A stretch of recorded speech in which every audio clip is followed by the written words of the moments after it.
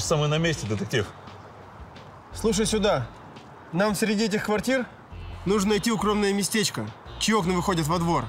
Надо проследить за одной преступной группой, у которой сегодня здесь встреча. Ты обходишь этот подъезд, а я... а я этот. Не надо обходить подъезды. У меня есть приложение «Суточно.ру». Они найдут, где остановиться. В приложении очень много выгодных предложений для бронирования комфортного жилья для поездок. Отелей, домов, квартир. Самое главное, это выгодно, удобно и безопасно, потому что все объявления проверены, и фотографии такие же реальные, как и отзывы. Я не доверяю этим гаджетам. Вряд ли там найдется то, что нам... нужно. Нашел, шеф. В этом доме есть квартира, которая нам подходит. Хорошая квартира. Молодец. Слушай, а через это приложение «Суточно.ру» в любом городе России можно квартиру найти? Просто скоро отпуск. Хочу с семьей поехать куда-нибудь. Да, Кэп, в любом городе России. У них более 550 городов доступно. И не только в России. У них более 200 тысяч предложений. А на следующее бронирование можно получить кэшбэк до 30%. А можешь мне ссылку скинуть? Ссылка в описании под этим видео. А по промокоду «Дела» вы получите тысячу бонусных рублей и сможете сэкономить уже на следующем бронировании. Под каким видео? Ты что, больной? Ты... Ты с кем говоришь? Все, Кэп, они выходят. Все, я на перехват. Под каким видео ссылка, эй?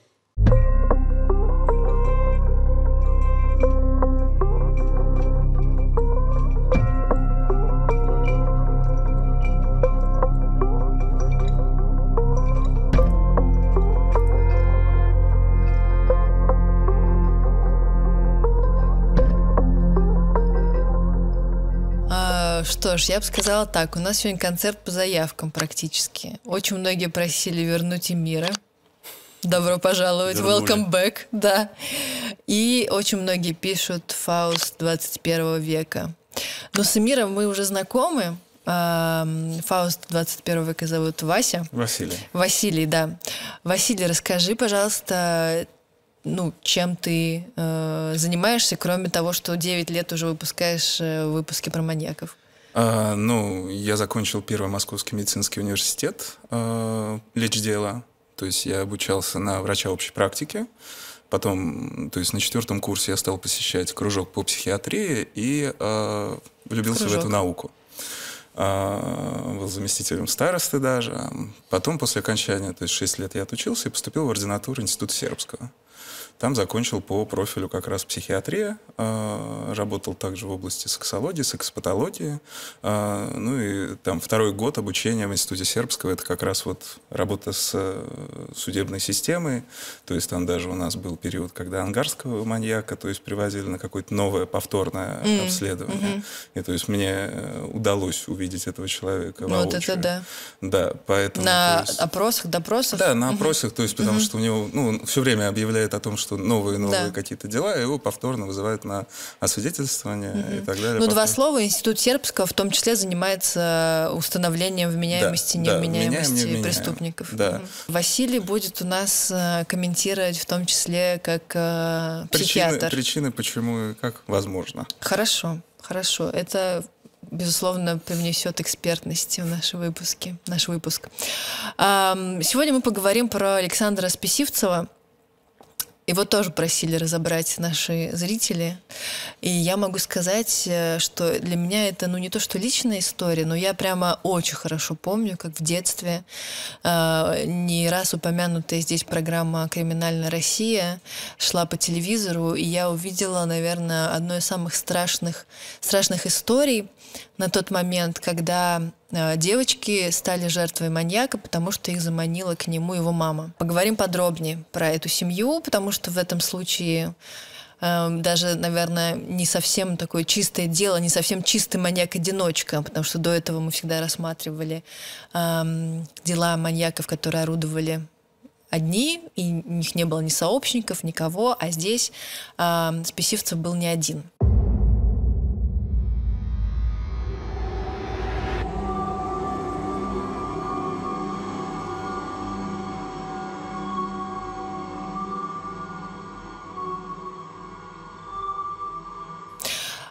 Списивцев родился в сем- в 70-м году в городе Новокузнецке.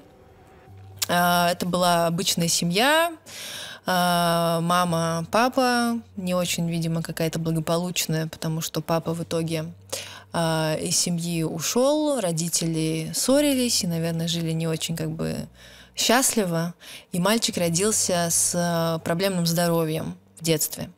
И здесь э, важная история, может быть, Василий нам дополнит э, о том, мне всегда интересно, маньяками становятся или рождаются, потому что есть э, сведения, психиатры, в том числе из Центра Сербского, указывают на то, что даже если в мозге этих людей есть какие-то особенности, скажем, по сравнению с другими, все равно опасно и вредно выводить какие-то ну, скажем, признаки мозга маньяка, потому что это может э, привести к каким-то ошибкам. Ну, мы начнем типировать людей, просто их вырезать из общества. А, ну, я хочу начать именно то, что в 2019 году в Финляндии была опубликована научная работа под названием «Ген воина». А, она включала в себя, что они открыли ген МАОА. То есть это ген, который э, снижает выработку серотонина, а, и у людей повышается агрессия, повышается уровень э, выпадов, то есть снижается уровень контроля, а, в результате чего было высказано, что у определенного количества этих людей то есть возникают выпады, и они могут в перспективе совершить а, какие-либо преступления. Но, нам, но в дальнейшем, то есть сразу разубеждая всех, кто вот, этот самый ген, нашли, типа мы да. наконец-то нашли, теперь мы можем их выделить.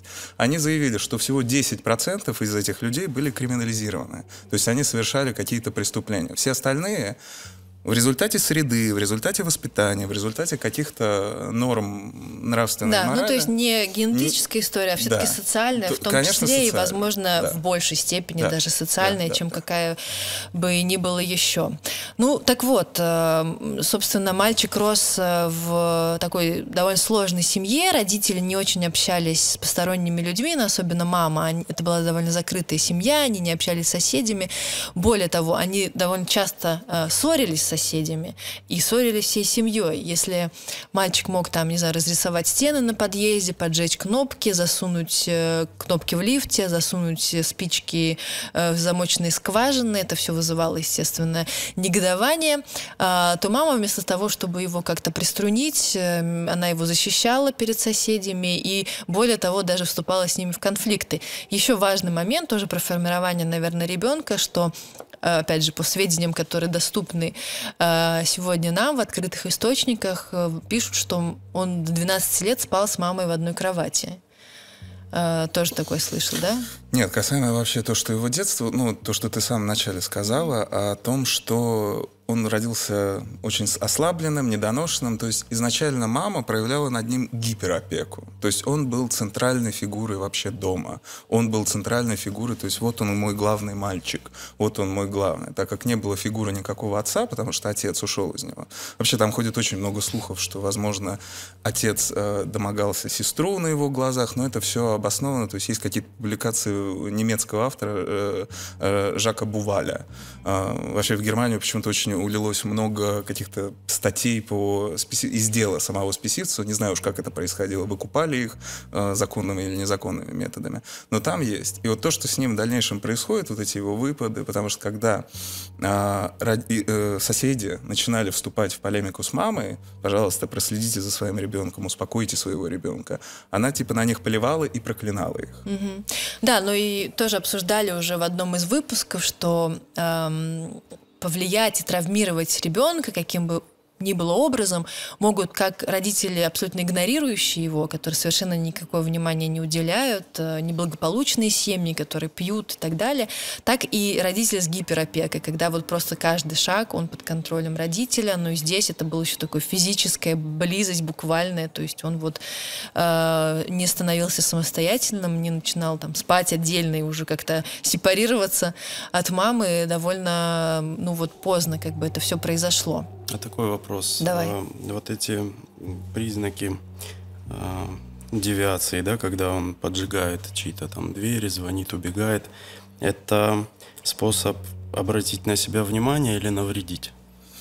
В первую очередь, когда мы вообще говорим про какие-либо участия с пироманией, то есть это ощущение собственной власти.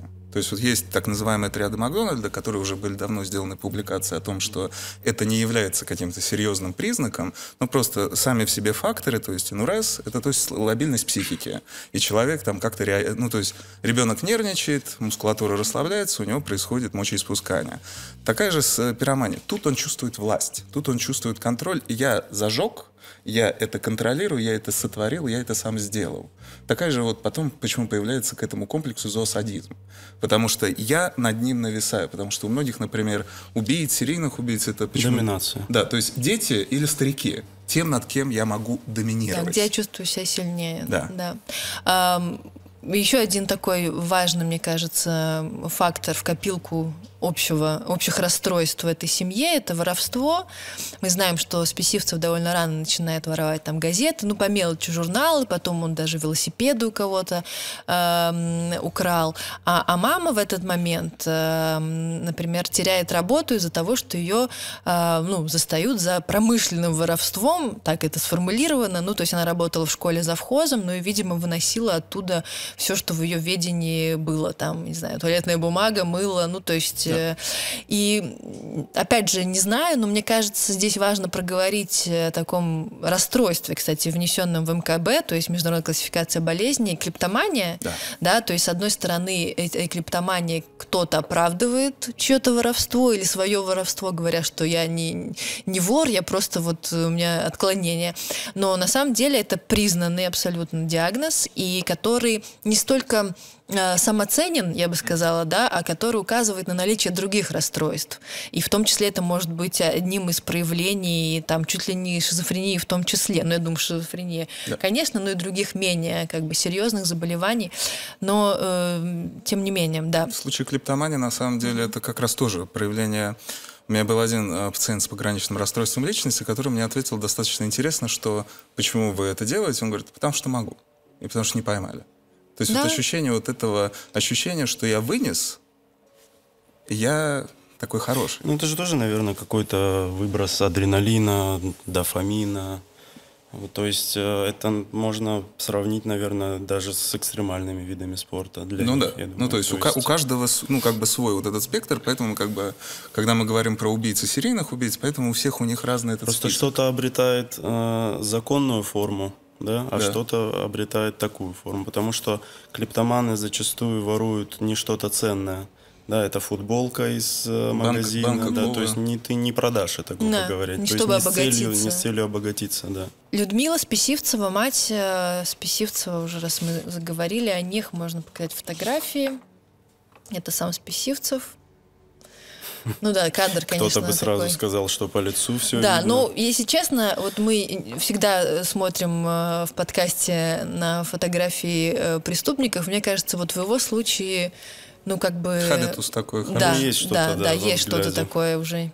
Да, ну, то есть здесь прямо, ну, может быть, это уже во время, хотя, господи, из того, что он совершал, мне кажется, не было никаких просветов в его Нет, ну почему? Когда мы видим виде. его детскую фотографию, например, это там все-таки есть какой-то ребенок. Мама устраивается э, помощником незрячего адвоката. Да, а сестра, которая старшая сестра Списивцева, в этот момент э, в этом же суде ну, не в этом же, да, адвокат все-таки не в суде работает, в общем, а сестра в этот момент устроилась в суд секретарем.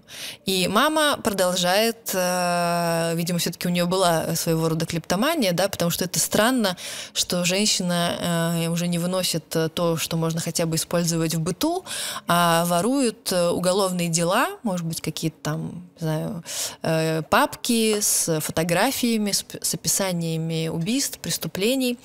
И эти папки эти документы оказываются дома, в квартире, и, естественно, попадаются на глаза э, тогда еще совсем маленькому э, Списивцеву.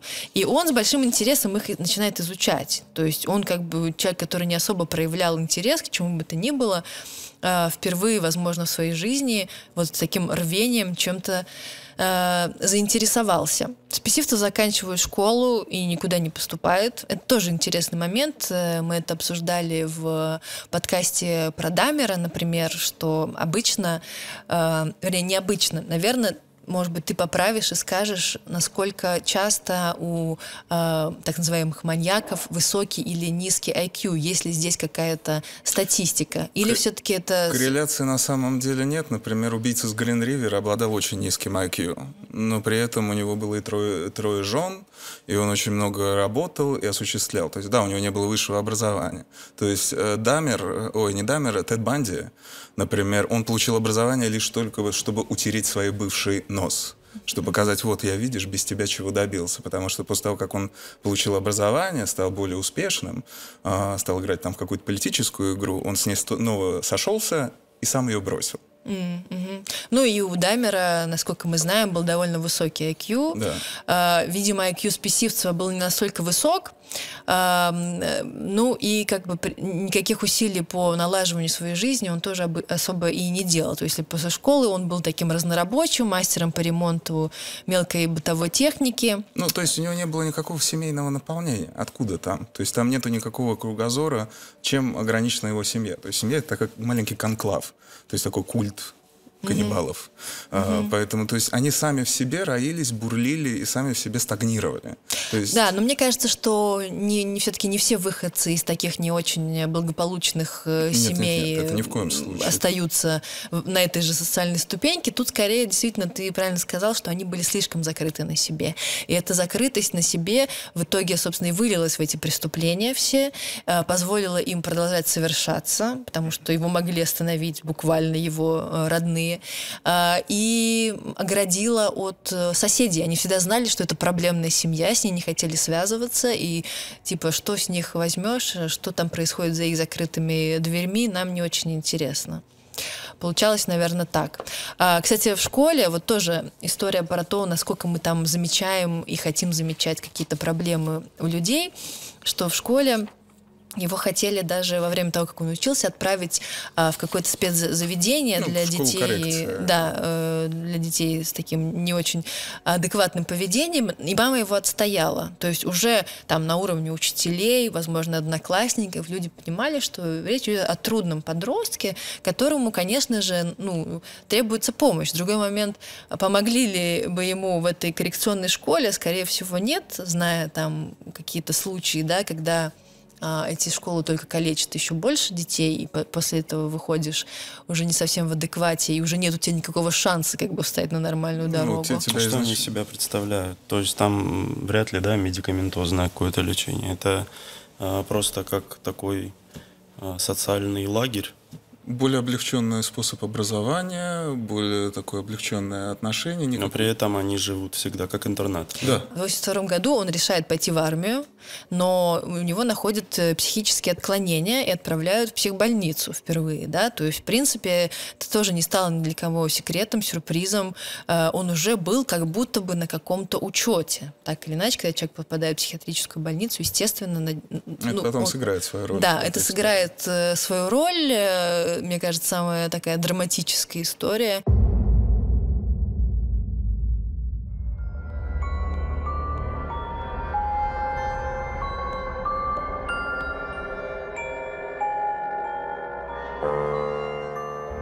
В 91 году, ему 21 год, э, Списивцев знакомится с девушкой, ее зовут Женя.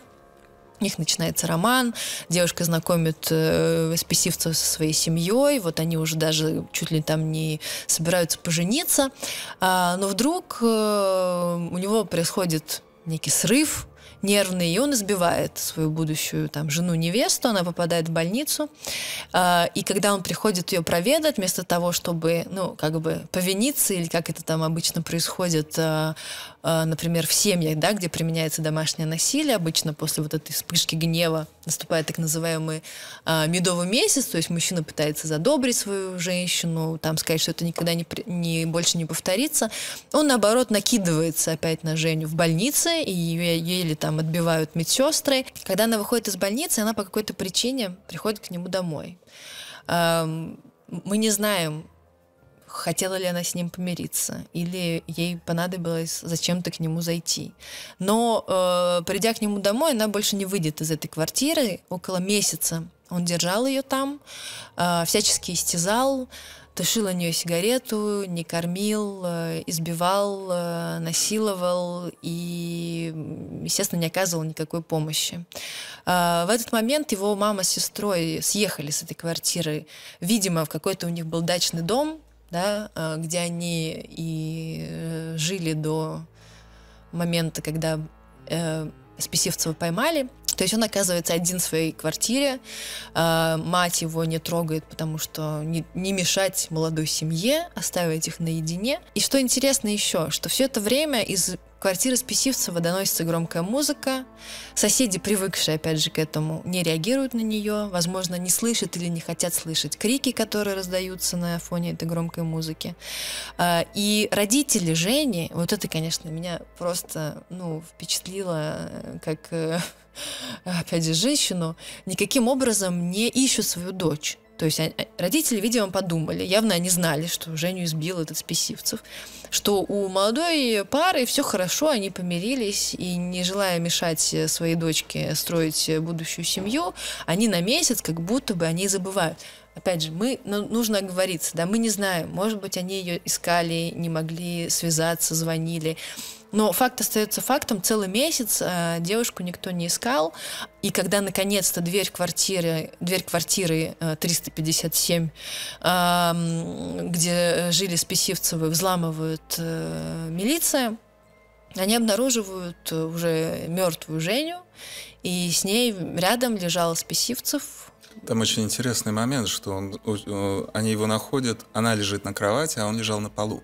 Mm, hmm То есть вот этот момент, что он не прикасался. У него вообще был очень странный религиозный бред а, в перспективе. То есть в дальнейшем он, он а, не трогал а, своих жертв после их убийства после а, три дня. И да, открывал форточку, чтобы, чтобы вышла душа. душа. Туда, э, да, улетела. Ну, как бы... Так, получается, а милиция по какому поводу вообще ворвалась в квартиру? Хороший вопросик. Как, по какому поводу? Ну, слушай, э, возможно, э, все-таки там звонки, может быть, кто-то из соседей все-таки дозвонился до милиции, да? Возможно, все-таки задались вопросом родители, э, почему э, так давно у них не было никаких вестей о дочери. Ну, тут есть сомнения. Все-таки нет этих данных. Я уже фантазирую. К нет ответа. К почему. сожалению, проблема дела Списивцева да. то, что мы не имеем доступ к материалам да. дела. Это самое главное. Конечно. Потому что все, что у нас есть, это две доку- два документальных фильма угу. «Следствие вели и криминальная Россия», да. две книги, одна немецкая, другая Модестова. Даже не переведенная Да, на немецкая не переведенная угу. совершенно. А, и несколько сайтов. Все, это все, что мы имеем, и какие-то спорные, ходящие слухи, моменты людей, которые типа видели, типа что-то знают, но самих показаний мамы э, этой девочки или отца у нас mm нету. Да, но ее об обнаруживают, э, и судмедэксперты установили, что Женя умерла от сепсиса. Скажи в двух словах, что это такое? Ну, заражение системы кровеносной. Из-за результате того, что раны были открыты, не проводилась никакой, никакая обработка химическая, в результате чего заражение крови и общий процесс становки. Да, и за счет э, состояния ее тела врачи даже не могли толком установить, э, ну, там, Первопричину. Первопричину, да, то есть насколько ее истязали и через что эта девушка прошла. Еще один интересный момент, тоже, опять же, не знаю, насколько это мифологизировано, но, по крайней мере, то, что мы можем найти об этом деле, а, когда а, Списивцева уводили, когда уже Женю обнаружили, он продиктовал соседям телефон родителей Жени э, и сказал, пусть э, заберут свою дочь, э, и это вы виноваты, Э, в ее смерти, вы не вызвали милицию, Женю кто-то насиловал, а вы не позвонили. Ну, ну вот такое якобы он история, сказал. Да? да. Маньяков, что все виноваты. А, но это же не признак эмпатии явно. Конечно. Позвоните родителям. Это просто... А, что это, кстати? Нет, на самом деле тут, ну, мы понимаем, что в любом случае у него пограничное расстройство личности, то есть он психопат, вот изначально. То есть, но это обусловлено тем, что мама, которая у нас есть, она никоим образом не прививала его. То есть э, вот с детства, мы это не обсудили, кстати, что с самого детства у него формировался четкий вот этот комплекс и блок, что женщины — это не, не люди, они не живые существа, они объекты, они куклы, они предметы, которыми второго сорта, которыми он может Но мы эти выводы делаем исходя из чего? Потому что все-таки его окружали, получается, только женщины, мама, с которой он так долго был в такой связке. В дальнейшем вот. мы просто это будем видеть в отношении жертвы. Да, да, но на, но на данном моменте пока мы это делаем вывод только Только на основании из, вот этой жертвы, как он себя да. вел, и как, ну, то да. есть описывали, то есть, ну, есть четкие как раз эти описания медсестер, mm-hmm. то есть вот это, этому можем доверять, когда он влетает в эту больницу, где лежит бедная девочка, и он просто начинает наносить ей огромное количество ударов кулаком, кулаками по лицу. Получается, кроме матери, такое отношение к женщинам? Uh, у него еще это отношение связано, то есть по теории вот немецкой как раз книжки, а оно связано именно, что отец, то есть очень плохо относился к матери и относился к сестре. То есть он uh, совершенно не ставил их ни во что, а для него, ну то есть для мальчика нужен, нужна фигура отца угу. или нужна фигура матери. То есть вот этот женский, феминный и мускулинный образ. То есть в его представлении, то есть хоть он и ушел, но он остался зачатком, рано или поздно, может быть, когда-нибудь мой отец вернется, то есть вот если мы берем того же Дамера, то есть он все время хотел потакать папе, он все время, то есть поэтому он тянулся к нему, он ждал его, когда он вернется, то есть вот этот момент, когда они его бросили все. Списивцева эм, признают, э, не знаю, была ли у него там экспертиза в Сербско в этот момент, но Я его думаю, вряд ли, да. Но его определяют в психиатрическую больницу, то есть его не сажают в тюрьму, его отправляют в больницу, где он проводит какое-то количество лет, а, и диагноз у него шизофрения тогда. И в больнице происходит э, странное, ну вот, э, может, мужчины мне подскажут, э, что это за такая история. Я, может быть, и слышала об этом, но не так подробно. Он вживляет себе в половой член, где-то пишут дробинку, где-то какой-то шарик это дробинка. Дробинка. Дробинка. Якобы, чтобы испытывать больше наслаждения во время То секса. Есть это на самом деле ходит очень много споров. Я очень долго пытался разобраться, откуда это вообще идет. То есть это идет откуда-то с зон. Да, То есть тюремные да. какие-то признаки, что таким образом они могут, во-первых, лучше себя стимулировать удовольствие и больше доставлять женщине.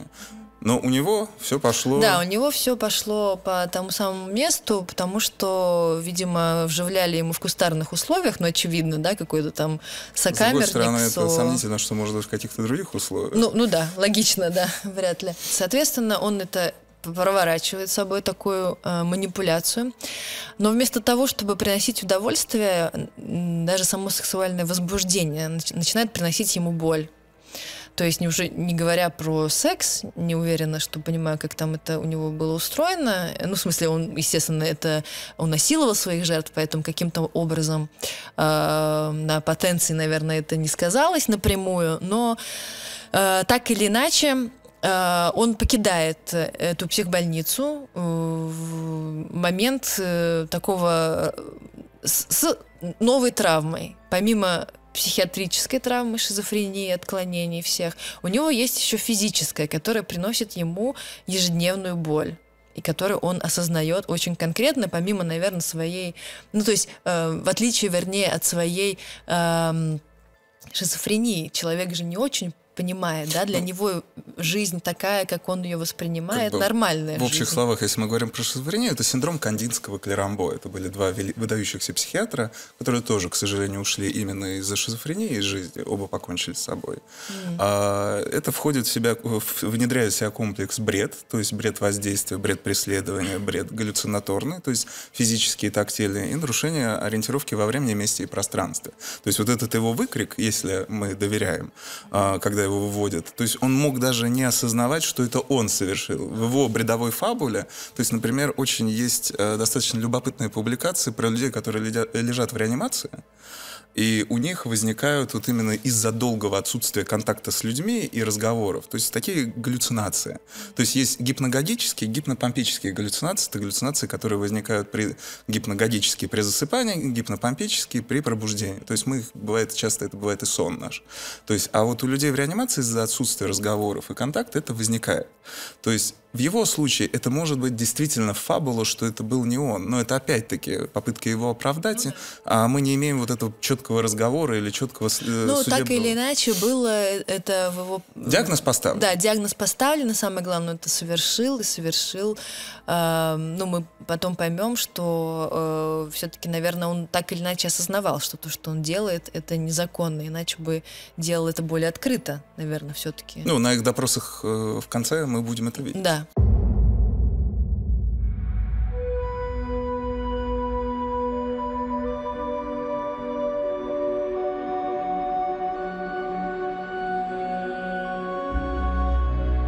Списивцева выписывают из больницы, но не уведомляют о, о том, что он выписан а, участкового, потому что по процедуре, когда человек, Отправ... который стоит на учете... Отправляют в ПНД, в психоневрологический диспансер, диспансер чтобы угу. его перевести со стационара на дневной, угу. дневной стационар. И также уведомляют участкового, что на вашем участке угу. есть такой гражданин. И тогда вот, э, если он не приходит в ПНД продолжительный период, с участковым врач отправляется к нему на дом. Угу. И в случае с Писевцева этого Происходит это фатальная, главная фатальная да, ошибка. это главная фатальная ошибка, потому что для всех э, окружающих, кроме его матери и его будущих жертв, он как будто бы продолжает сидеть в психиатрической больнице. Спесивцев ни с кем не общается, он ни с кем не вступает в коммуникацию, обычную, нормальную, человеческую.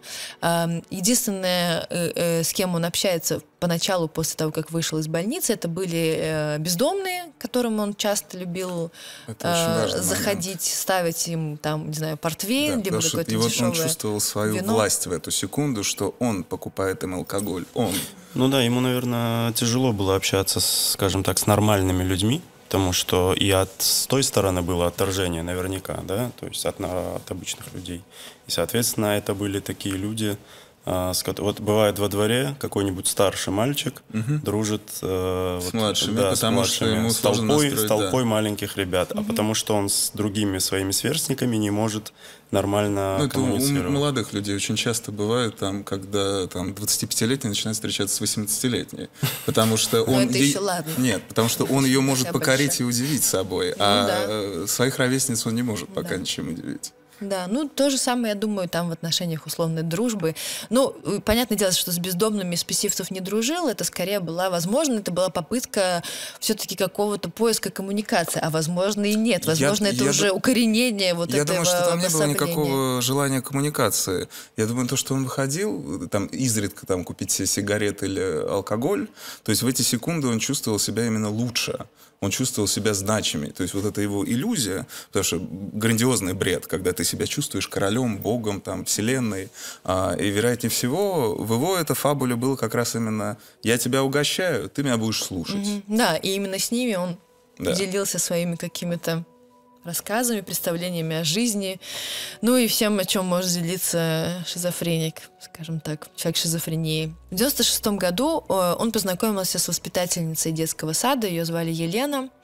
Она, он пригласил ее в гости, у них завязался какой-то, я не знаю, там флирт, роман, э, либо просто общение. Э, но на момент эм, секса между ними он, э, видимо, вот эта его проблема с половым органом дала о себе знать, и девушка ну, как-то неадекватно по его представлениям отреагировал на это. То есть там уличила его в импотенции, либо усомнилась в его потенции. После чего возникла ссора, ну и он сорвался на Елену. Это была вот вторая жертва. О ней он сказал так, опять же, что мы нашли, э, что я нашла э, из открытых источников. Эм, вы засыпаете с болью, просыпаетесь с болью, это он, понятно, о, о половом органе своем. Потом тебе еще кто-то в глаза об этой болезни говорит или напоминает об этой теме. Я просто ненавижу, я просто ненавижу таких людей. Обматерила меня, я не выдержал, взял нож и нанес ножевое ранение. Еще добавлю, это действительно так. Угу. В, немецкой, в немецкой книге там еще дополняется этот фрагмент тем, что он ей пожаловался, он типа хотел с ней хороших, открылся. Да, открылся хороших отношений, типа давай, только у меня есть такой нюанс, и она на него вот как раз сделала этот э, агрессивный э, выпад. Ох, ну он э, изнасиловал э, Елену, убил ее, расчленил, и а избавиться от останков тела он сказал своей матери, которая безропотно это все и провернула. То есть э, вот интересно мне только вот первоначально вот это вот второе дело она, а нет, он расчленял все-таки, он расчленял. да? Он, он, расчленял, он все сделал. Да. Там в дальнейшем будут истории, когда, когда мама все, кажется, сделала. Но опять-таки из-за того, что он в схизисе, то есть шизофрении, угу. мы не очень понимаем, насколько вот эти фразы его, что я ушел, и она уже там было чисто. Угу. Ну да. Ну просто вот меня поражает все-таки, вот хочется это в самом начале э, его этой преступной серии обсудить. То есть э, э, мама приходит домой, чтобы там, я не знаю, наготовить еды или привезла своему сыну еду и видит э, расчлененный труп. Вместо того, чтобы сделать что бы то ни было э, упреждающее повторение этого поведения, она делает э, то, чтобы сын ни о чем не волновался, чтобы его ничего не беспокоило и запах э, тела, который явно уже появлялся, и э, грязь от э, там следов крови и так далее. То есть она все как бы э, при, прибрала и ушла. Вот, вот что в ее голове в этот момент? Это тоже шизофрения? Нет, тут не шизофрения. Тут как раз вот опять-таки то, что они закрыты от общества, то, что они живут вне вот этого общества, это их система координат, это их такой базовый, это их племя, племя, в котором их правила, их законы. То есть э, в результате чего она видит, то есть вот я недавно э, публиковал в телеграм-канале, э, новый закон приняли о том, что теперь ДНК будут брать у всех.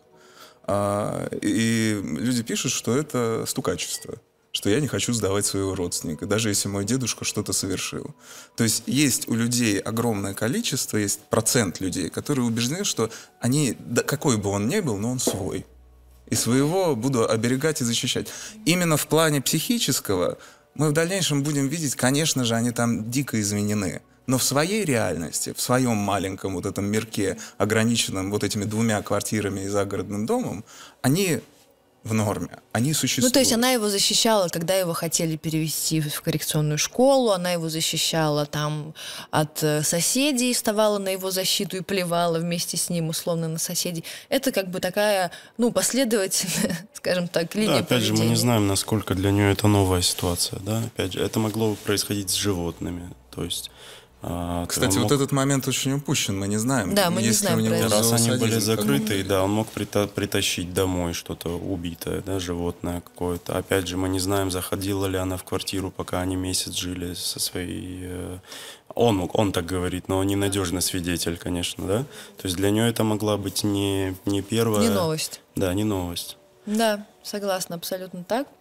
И просто я хочу подчеркнуть, это, мне кажется, особенно интересно, потому что в рассказе это может потеряться.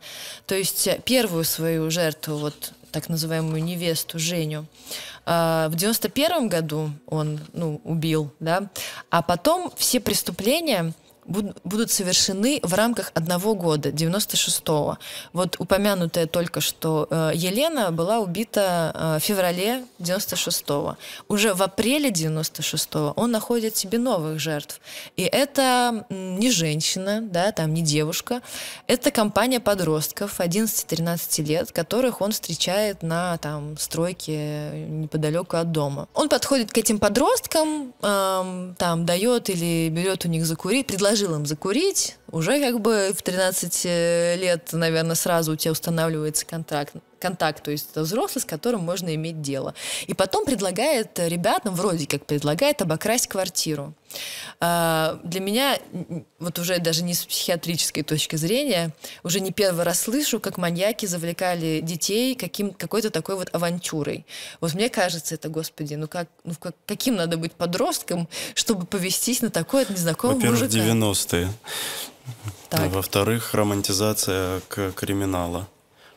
Со взрослым пойти там. Я да я тоже очень много историй знаю когда а, так называемым на стреме постоять а, привлекают подростков. Но это это все от романтизации криминала из кино из то есть мы тоже будем бандиты мы тоже будем криминал. Мы вот такие крутые, какой-то авторитет во дворе, это вообще не сложно. Здесь для меня больше интересно, что это получается первый случай, когда он использует а, то есть не от агрессии исходит, да, то есть там его оскорбили, Э, в первом случае это ссора, от ссоры пошла драка, во втором случае это тоже ссора, то есть такой э, импульс, да, а здесь это уже э, намеренное желание. желание, да. Да, да, ну то есть э, желание, оно же разрастается по мере того, как его удовлетворяют. Да? Чем чаще подкидывать э, дровишек в этот огонь, тем больше он разгорается, и тем больше жертв он требует. Ну, я думаю, вы знаете про Бухановского, то есть у него есть да. вот это прекрасное... Бухановский, это я для зрителей напомню, это психиатр, который в прославился тем, что составил психиатрический, психологический портрет да. Чикатило, и потом основал в Ростове-на-Дону клинику, где, ну, в том числе занимался так называемыми маньяками. Да, да. И так далее. То есть есть как раз у него составлено, в его, у дочери в кандидатской, там вот есть как раз составлено вот это, как перверсия развивается. Первичный стимул желания, когда он уже что-то совершил, повторно уже совершил что-то в более масштабе. И переход как раз вот от животных, э, может быть, к насилию там над ребенком, пожилым человеком. Мы не знаем достоверно вот с Василием, сколько именно было подростков. Где-то есть информация о, о троих мальчиках, а, а вот я нашла, что аж шесть. Ну, сложно представить, что один человек не очень как бы сильный, судя по всему, смог справиться сразу с шестерыми, но э, так или иначе он убивает всех этих подростков у себя в квартире, э, в которую заманил вот под этой такой легендой, что мы сейчас пойдем на дело э, вместе, и, видимо, он свою квартиру и выдал за да, ту квартиру, он... которую нужно ограбить, да. Вот. А, он э, достал нож, перебил подростков и просто сложил эти тела э, штабелями, в да, в прихожей, накрыв тряпкой. И, и самое поразительное это, что как бы мама не то чтобы на следующий день приходит в его квартиру, а спустя какое-то время. Мама работает сторожем в детском саду в этот момент, живет опять же не с ним, а с дочерью. Э, и ей пришлось как бы избавляться от этих э, тел самой.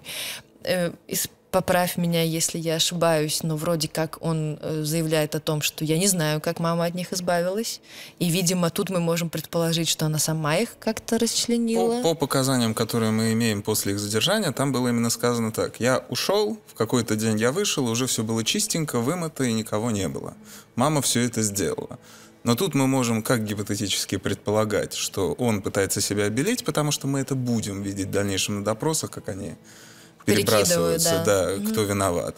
А, или же мы можем также констатировать, что и он сам в этом участвовал, но он просто не хочет каким-то образом быть связанным. Ну, либо, может быть, его сознание выключилось на какой-то и момент. И это тоже вариант да. мы не можем не исключать, да. потому что действительно такие явления бывают, когда человек в состоянии вот этих аффектов да. э, может просто вырубаться. Угу. Ну, как бы факт остается фактом. Мама избавилась от тел. Э, скорее всего, она их выбросила в реку, и потом в какой-то момент их начали находить. У нее было ровно четыре ведра, которыми она постоянно выносила эти тела. А он не насиловал их? Мальчиков, ну, судя по всему, нет. Я не видела, что он Про мальчиков, мальчиков фактов ни, нигде да. он не упоминал, что насиловал. Он именно их э, просто убил, пытал. Угу. А вот девочек. Да, вот это тоже ну, интересная, насколько это может быть интересно, деталь о нем, что обычно у маньяков есть э, некий там модус операнди, да, в который в том числе входит некий портрет э, типичной жертвы. И у Списивцева можно, понятно, выделить все-таки какой-то плюс-минус э, портрет, но с другой стороны я подумала, что может быть и нельзя, потому что потом, если к нему мама приводила, он уже брал, что, что давали, что наверное. Ну да, видимо. Ну и, и мальчики, конечно, эти тоже немножко выбирали выбивались, не вписываются, не вписывались то, в картину. появление их внезапно после двух женщин угу. э, говорит о том, что либо он себя хотел... Возможно, изначально, может, он и не предполагал, что собирается кого-то убивать. Может, он их привел, что вот у меня компашка будет да. дома. А потом, опять-таки, лишняя фраза, э, ход в бок влево, и началась и, резня. И понеслась, да. Май 96-го, это месяц, да, едва ли даже, мы У не него, знаем да, по датам. получается очень короткие промежутки. Очень короткие. То есть он чуть-чуть, вот во всех аспектах он чуть-чуть выбивается Да, но мне кажется, общего. в том числе, потому что это, по крайней мере, наверное, первый э, маньяк, о котором мы говорим в рамках подкаста, шизофренией, да, и первый, который был признан, ну, забегая вперед, в принципе, несложно догадаться, невменяемым, да, и то есть вот эта невменяемость, она конечно, ну, это прогрессирующая история, да, мы уже это упоминали. То есть болезнь прогрессирует, и ты уже не видишь никаких берегов и сдерживающих факторов не остается совсем. Э, в мае 96-го Опять на стройке он познакомился с четырьмя девочками-подростками. Он их заманил предложением продавать мыло. Да, мыло. Это тоже какая-то, да. наверное, история из 90-х. Я не очень помню, но, наверное, подзаработать. Ну, скорее всего, это было просто подзаработать да, немного подзаработать денег. денег. Вот, и он их э, убил, и от останков э, избавлялась мама, и именно в связи с этим как бы убийством появляется э, информация о том, что э, там фрагмент тел либо кости они начали скармливать своей собаке. Да, то есть вот я видела важно. Ньюфаундленд либо водолаз. Водолаз. Водолаз. Ну то есть даже фотографии где-то гуляет, это явно не Ньюфаундленд, ну да, водолаз довольно такая. То есть во всей этой еще семейке присутствовало животное. Да, причем не самое да. э, такое доброе. Кстати, ну, то есть на вид многие это еще связывали с тем, собака. что почему детей парализовало, когда они входили, ходили в квартиру, когда у тебя собака. А, ну да, кстати. То есть да, агрессивный собака. фактор, когда угу. ты боишься двинуться влево-вправо. Угу. А он работал у меня вопрос? Нет, он не работал, конечно. То есть он на полном попечении матери. Да. И она не пытается его пристроить в какое-нибудь соцучреждение обратно, да? Нет, он полностью на нет. Ну, э, я так, вот уже Василий об этом э, упомянул, но мне кажется, что важно тоже отметить, что для, для этой семьи весь окружающий мир это были враги. То есть они не могли даже предположить, что кто-то может помочь, что, а тем более какое-то государственное учреждение, вот это такое казенное абсолютно, там пристроить в ПНД, э, в, дисп, в психоневрологический диспансер, это вообще нет, потому что там моего сыночку будут, я не знаю, не будут кормить ну, не будут за ним ухаживать. Мы сами еще понимаем, что когда его выписали, возможно, там ему давали таблетки, и он угу, получил, да. получал какую-то терапию, может, даже психологическую помощь. А, конечно, как он вышел, мама, скорее всего, Забила не нужны нам таблет... эти таблетки. Ну, конечно, конечно, да. Химия портит организм. И про каннибализм э, Списивцевых. Эм, он отрицает это полностью, и мама тоже отрицает, но тем не менее э, есть такие факты, что вроде как они прибегли и к этому. Последний свидетель. Мы, мы, это получ, мы получили эту информацию Да. только благодаря последнему свидетелю. Если бы не она, Мы бы так и ничего не узнали. да, то есть они бы уходили от ответа, вертели, потому что то количество всего, что нашли в холодильниках, в кастрюлях и ванной, наводило именно на мысль того, что это употреблялось в пищу. Про последнего свидетеля поговорим Да. э, своевременно, но вот про каннибализм скажи, пожалуйста, эм, в двух словах, да, я начну, а ты как бы уже психиатрический какой-то эм, комментарий дашь. Вообще, понятное дело, что каннибализм мы все так или иначе знакомы, там какие-то племена занимаются этим во время там войны, очень часто люди там из-за голода, Катастрофы, э, катастрофы, да, далее. кто оказывается там на необитаемом острове. А, Но, естественно, что в современном обществе это ну, абсолютно табуированная тема. А, И а, что интересно, а, в начале нулевых в Германии системный администратор разместил объявление о том, что ищет молодого человека, а, который будет не против, если тот его съест. Вот, и он нашел такого молодого человека, который был не против быть съеденным, э, и у них все, как бы, в их понимании завершилось благополучно. Эм, как пишет Википедия, два джентльмена договорились встретиться. Ну, в общем, они встретились. Эм, он был, э, один из этих системных администраторов был убит и частично съеден. Э, И эм, суд приговорил э, к пожизненному заключению со второй попытки, правда, но тем не менее изначально уже окончательно он приговорил к пожизненному заключению этого человека А, и вот предварительно оговоренный каннибализм это называется вот таким вот э, термином и это этому случаю посвятила песню группа Рамштайн. Естественно. Да, что с психиатрической точки зрения? Вообще, касаемо научной какой-то подоплеки, когда мы исследуем каннибализм, нету соотношения, что вот у него шизофрения, и он сразу становится каннибалом. В любом случае, это всегда идет э, базово от какого-то уровня насилия. То есть, когда мы разбираем там Дамер, Головкин, э, то есть их этапы, когда они внедрялись в каннибализм, то есть у Головкина он там паяльником подогрел себе мясо, Дамер чисто из интереса, то есть это все, вот, вот это опять-таки скачкообразный подъем вот этой перверсии. А куда я еще могу? так, ну раз я его разделяю, ну так можно попробовать, это же мясо, это же... То есть в связи с этим. То есть есть, например, очень... м- у Сорокина Настенька. И там есть Да, такой да, да. момент, её когда, да, когда каннибалы едят девочку и жалуются на ЖКХ. О том, что... И то есть тут именно ситуация в том, что в их мироздании, в их мирке, это норма. Там проблемы бытовые, они есть, такие же.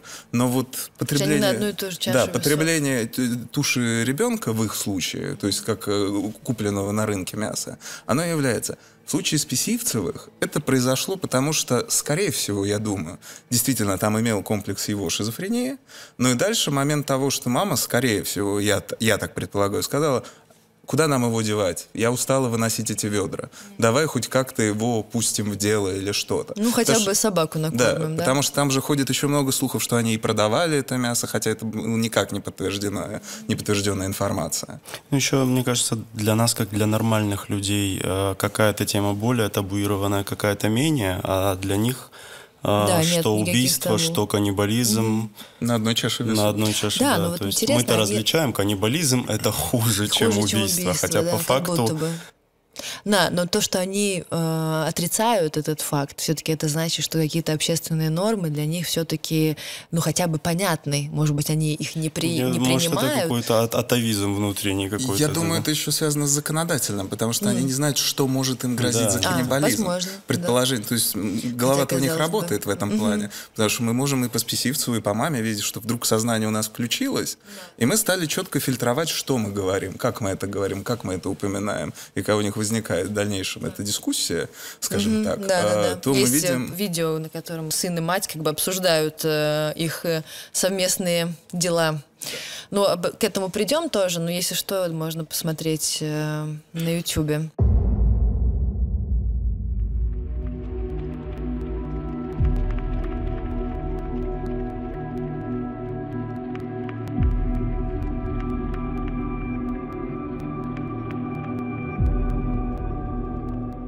В мае 96 года, э, значит, кроме этих э, четырех школьниц, погибают и другие люди в этой квартире.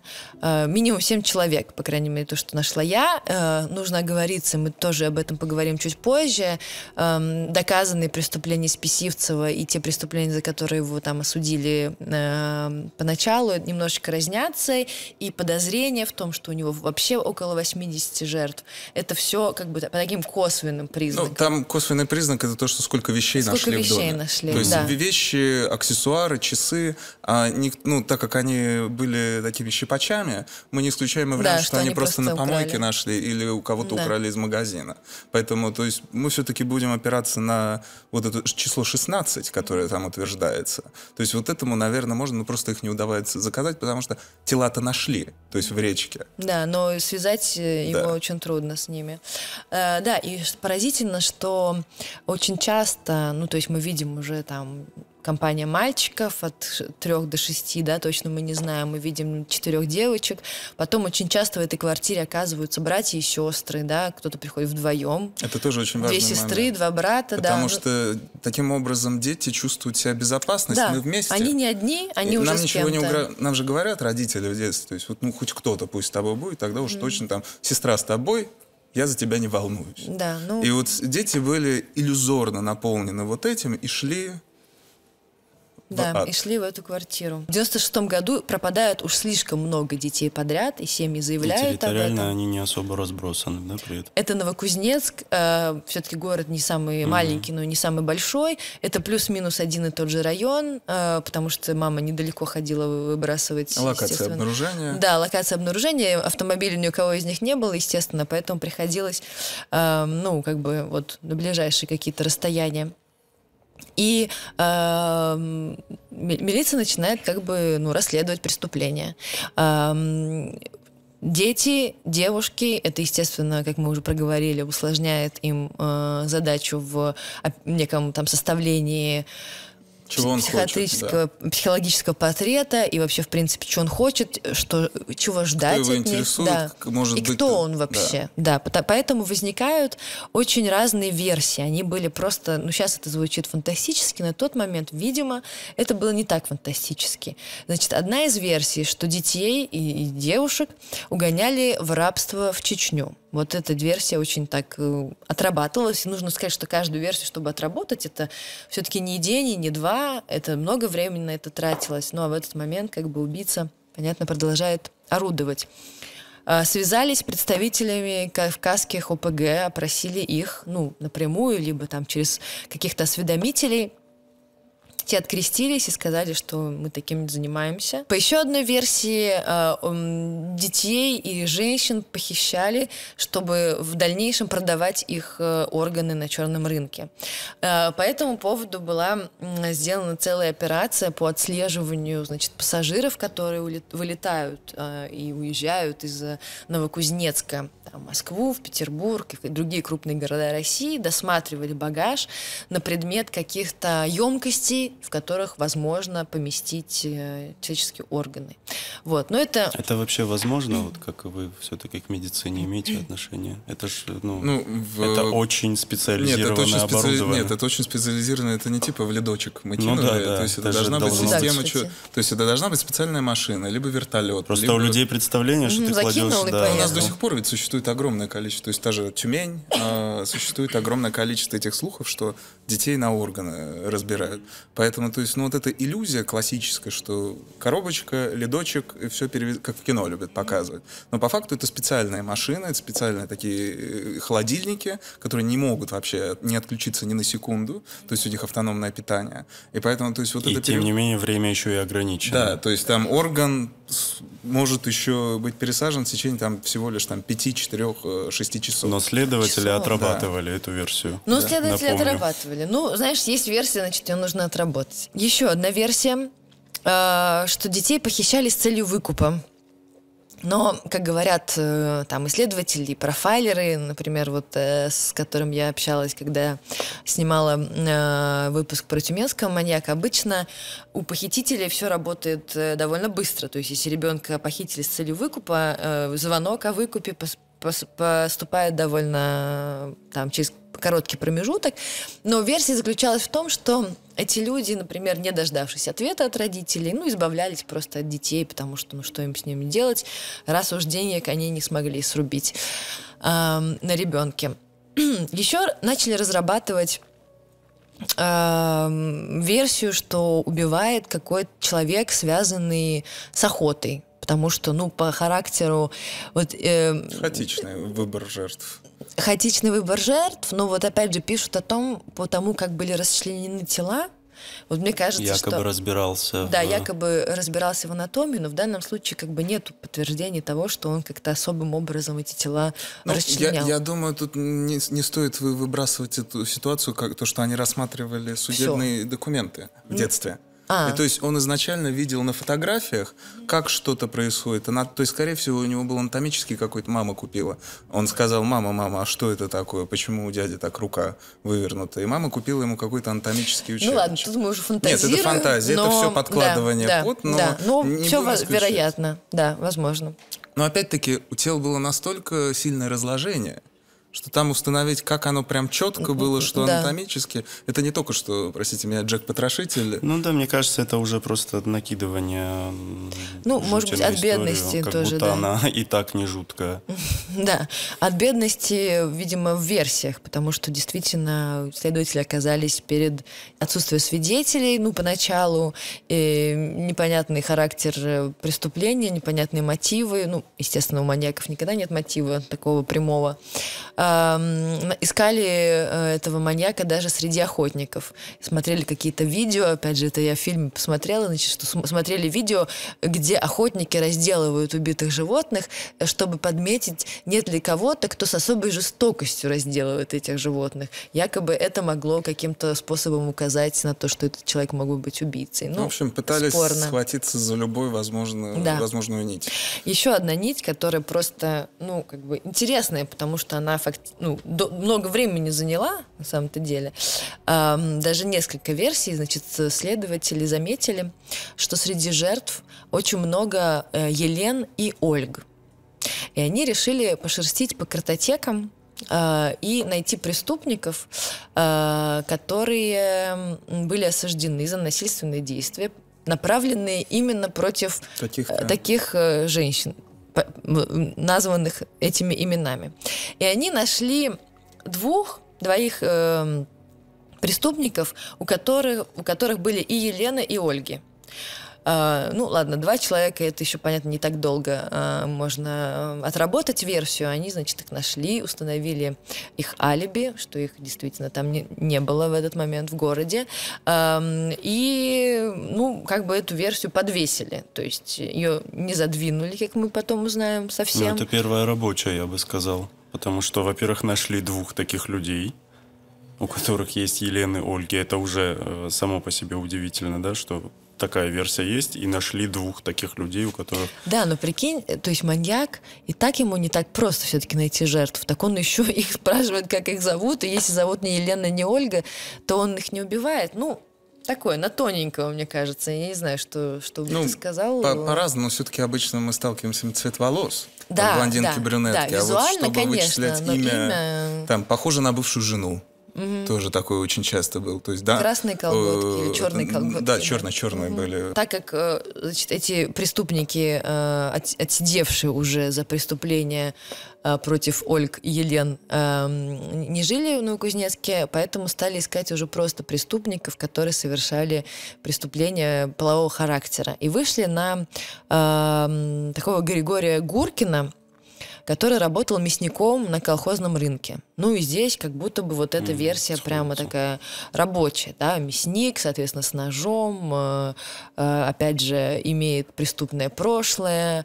Э, он также попадал в поле зрения, когда проверяли водителей частников, потому что думали, что у э, маньяка есть автомобиль, и он увозит своих жертв.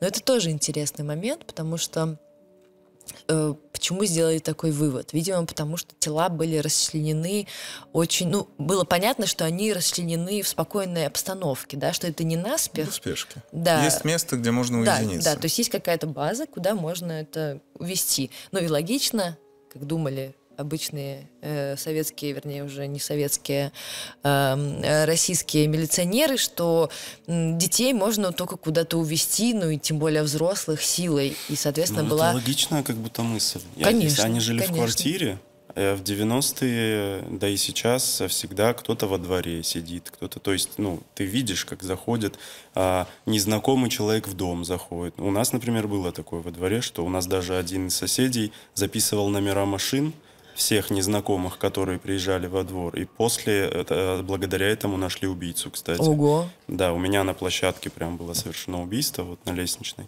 И нашли э, после этого вот убийцу. бдительный именно, гражданин. Именно благодаря, да, то есть э, и всегда... Ну, Женщина-консьержка. Да, есть такие люди, которые за замечают. В эту квартиру постоянно ходят новые люди. Особенно если мы знаем, что за короткий промежуток времени совершались убийства. То есть все равно во время скандалов, э, ну, это шум.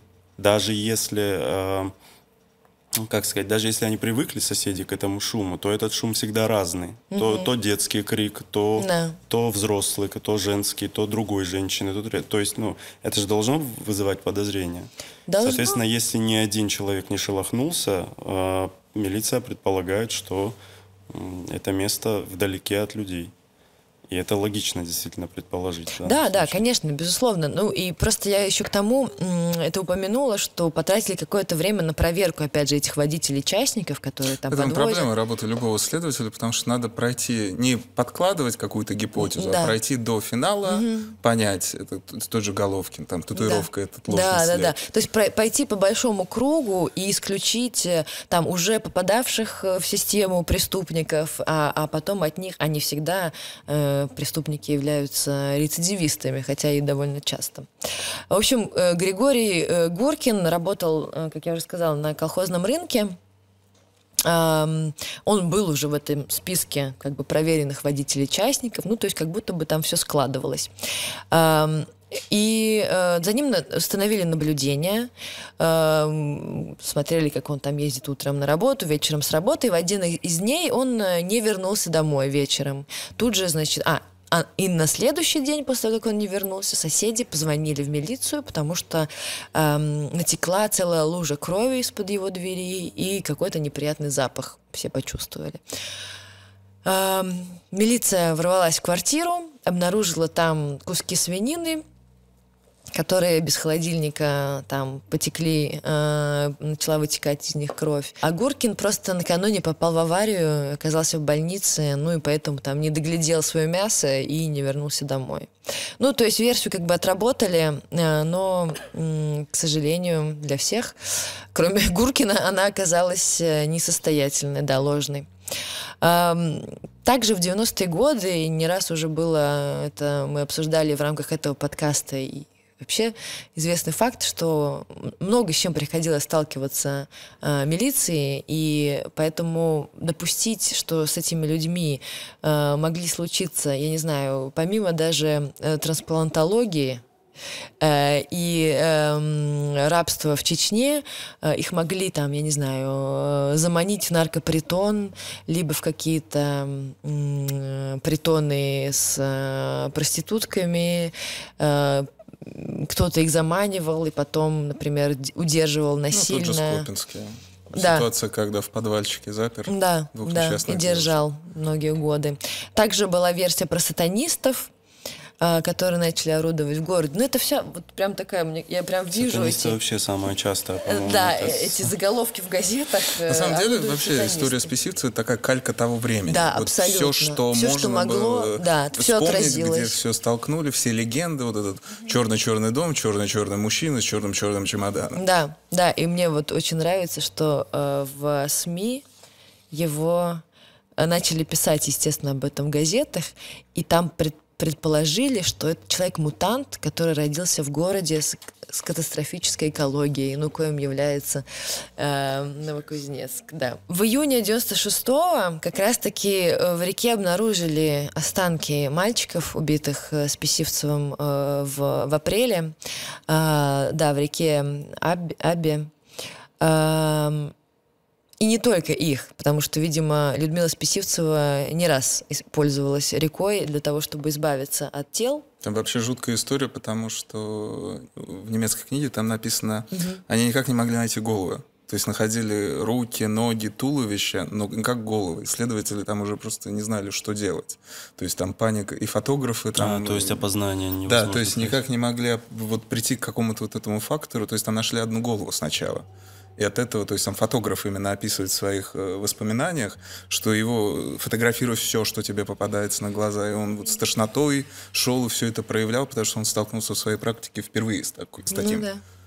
Ну да, интересно еще, это я узнала из сериала «Фишер», э, ну я надеюсь, что это правда, что опознавать, если тело расчленено, то опознавать нужно отдельно и голову, и тело. Ну, потому что это могут быть два разных человека, естественно. Признаки родинки. Да, да. Поэтому если э, фрагментов больше, чем два, то, конечно, это просто, ну, можно только представить, через что прошли родители и да, и установить точное количество жертв от этого тоже довольно трудно у Списивцева. В летом 96 -го года формируется следственная оперативная группа, уже полноценная, которая прочесывает там и леса, поля, все, что окружает город, э, для того, чтобы искать детей, потому что дети в этот момент продолжают пропадать. Но тут интересный момент про детей тоже, э, тоже из 90-х что в то время, э, ну, помимо прочих, пропадало очень много детей из неблагополучных благополучных семей,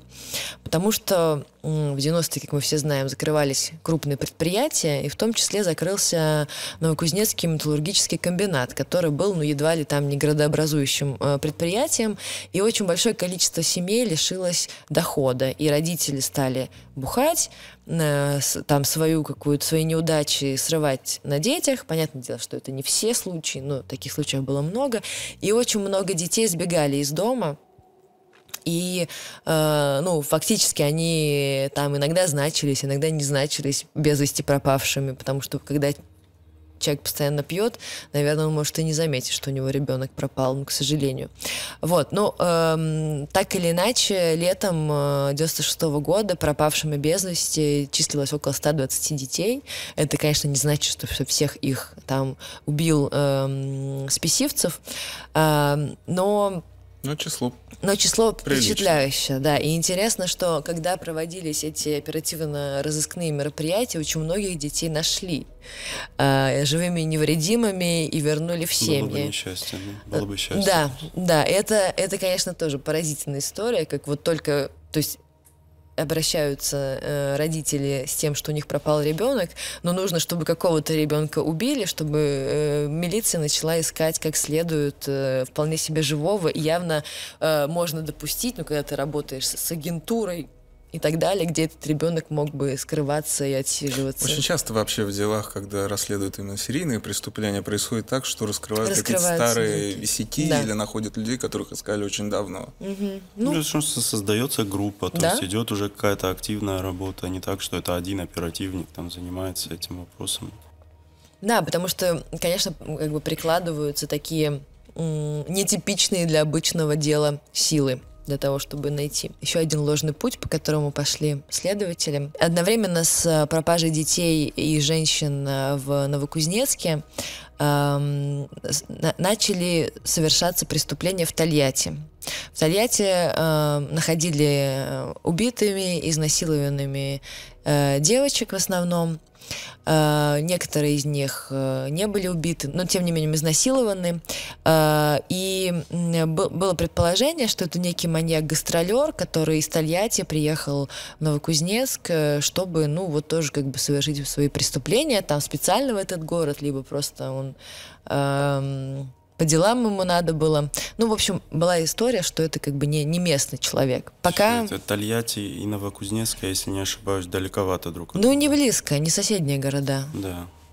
Ну, очень, это на самом деле очень часто так бывает, что работает он в одном городе э, вахтово, а потом, то есть это вот часто всегда говорят, подозревают вахтовиков. То есть, что он работает, а, А, тут да. он живет.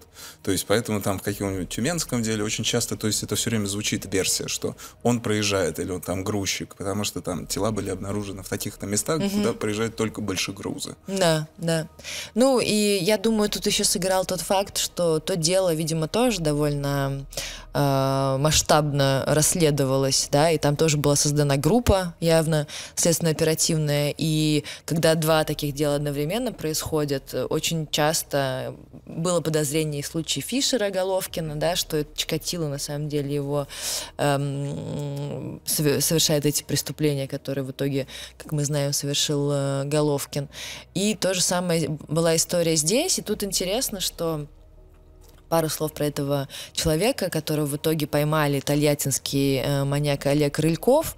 Э, он э, начинал с грабежей, потом э, как-то столкнула его жизнь с маленькой девочкой, которую он там сначала не изнасиловал, но ну, как-то понял, осознал свое желание. И потом начались эм, изнасилования, ну и впоследствии убийства. И э, его, ну не его конкретно, потому что не знали, что это Олег Рыльков, но этого преступника э, искали. И когда его искали, его э, задержали на рынке с купюрой, э, с фальшивой купюрой. И спросили, а как тебя зовут? Скажи свою фамилию и адрес. И он назвал фамилию Ященко, э, не Рыльков, соответственно, ну и какой-то свой якобы адрес. И когда уже э, предполагаемого Ященко вызвали на допрос, пришел совсем другой человек. Это, он оказался другом этого Рылькова, чьи- чью фамилию и адрес он я извини, назвал. у меня что-то в голове сейчас не стоит. Что значит Ну, назови смотри. свою фамилию? а Его задерживают на потом- рынке. Ну, это... Потом вызовем.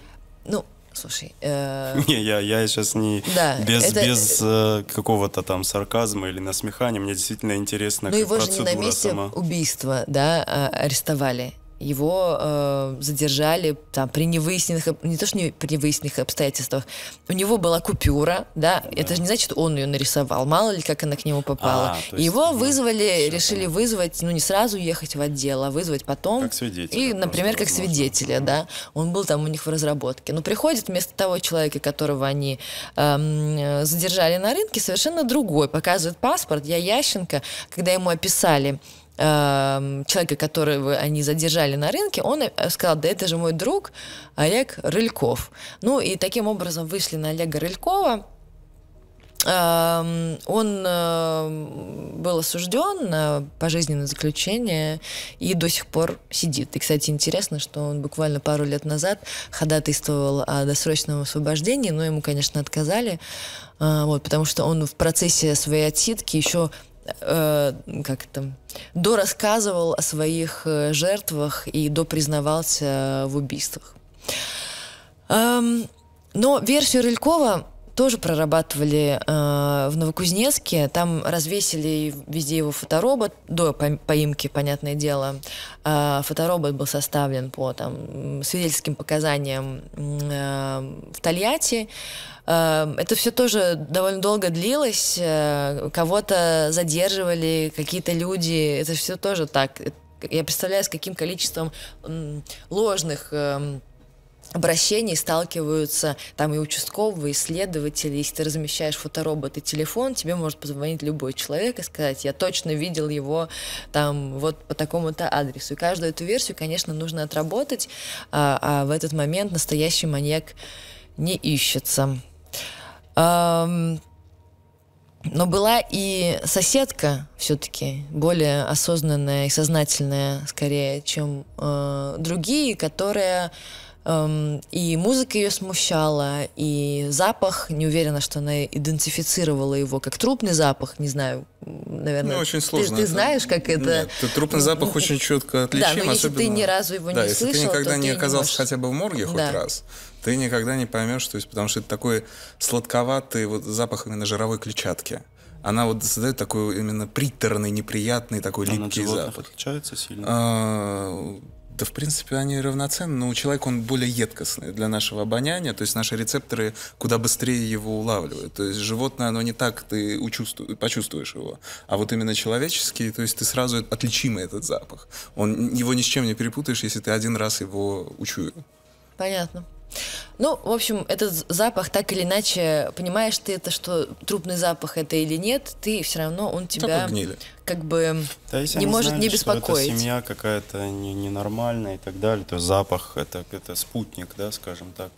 Ну да, учитывая их бэкграунд, как, да. когда тоже постоянные конфликты, кто хочет Да, но соседка, тем не менее, смущала ее этот запах, и она звонила э, в милицию и говорила проверить эту квартиру. И явно, что эта соседка знала, что, кто там живет, что там живет не только или не столько э, Людмила Списивцева, но и ее сын Александр, который был, э, как мы помним, на учете э, стоял на учете, э, значит, э, лечился в психиатрической больнице, а всех людей, которые были, э, стояли на учете и вышли из психиатрических больниц, ну, всех или почти всех, милиция проверяла. То есть она его и не проверила, он не вошел в этот круг, потому, потому что, что для милиции, знали, да, он был э, человеком, который сейчас лечится, который сейчас находится в закрытом медицинском учреждении. Куча милиции в городе, но Списивцевы то ли не замечали этого, то ли им было, наверное, и плевать, в принципе, на то, что там э, кто-то кого-то ищет. Они себя вели абсолютно э, в том же духе, что и раньше. С июня по конец августа э, четыре школьницы и две женщины и даже 35-летний мужчина. Подробностей никаких. Не, никаких, никаких я не нашла. Ну, да, ты их, подтверждаешь. Их, их, к сожалению, да. это, эти факторы подтверждены в плане того, что обнаружение тел, того, что установлено, что их видели там в этой локации рядом где-то то ли с, с мамой, то ли с ним они когда заходили, но факт того, что как это происходило, что он с ними делал, они это все на суде отрицали. Угу. Ну и последние жертвы Списивцева и самое, наверное, страшное э, происшествие, наверное, оно самое страшное, потому, потому что, что мы, мы знаем. Да, мы знаем больших подробностей, что там случилось.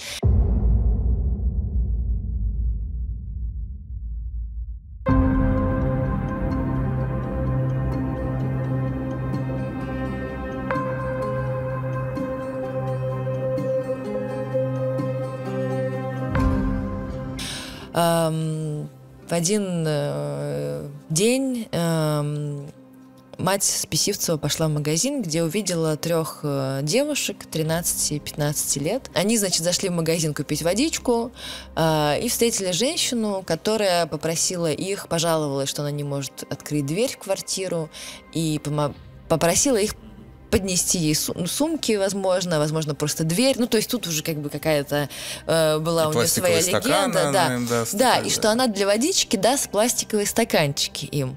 Ну, тоже странно. Во-первых, пластиковые стаканчики в середине 90-х, не то чтобы они, я думаю, водились у спесивцевых.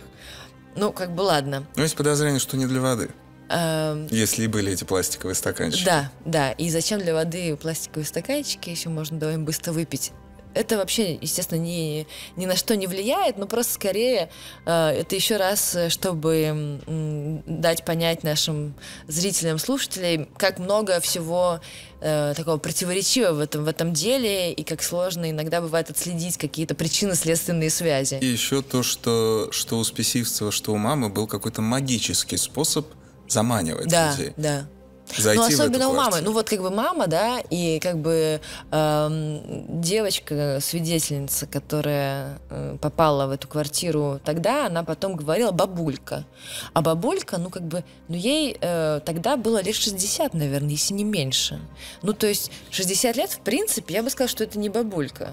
Но она производила впечатление вот такой вот бабульки, которой никто не замечает. И не Вот у меня постоянно вот это обращает внимание. складывается ощущение, что еще было упомянуто, что она с дочерью, да, живет все это время. Да. да. А, то есть э, вот у многих маньяков мы видим способность эм, мимикрировать, да, то есть э, под нормальных людей общаться, быть хорошим семьянином, быть хорошим работником, заманивать людей. Вот это у Чикатила, говорят, был э, вообще дар в этом плане.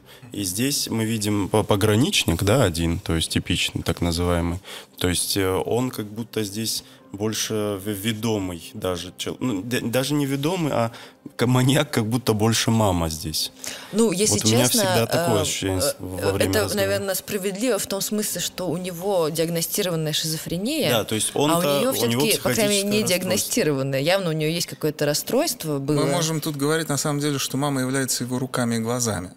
То есть она его потребности, какие бы они ни были дефективные, какие бы они ни были аморальные и не шли просто вообще ни в какое понимание человеческих норм, а, она выполняла вот эту функцию, чтобы удовлетворить, как это, кинуть зверю кусок мяса, чтобы он успокоился и не трогал там их с дочерью.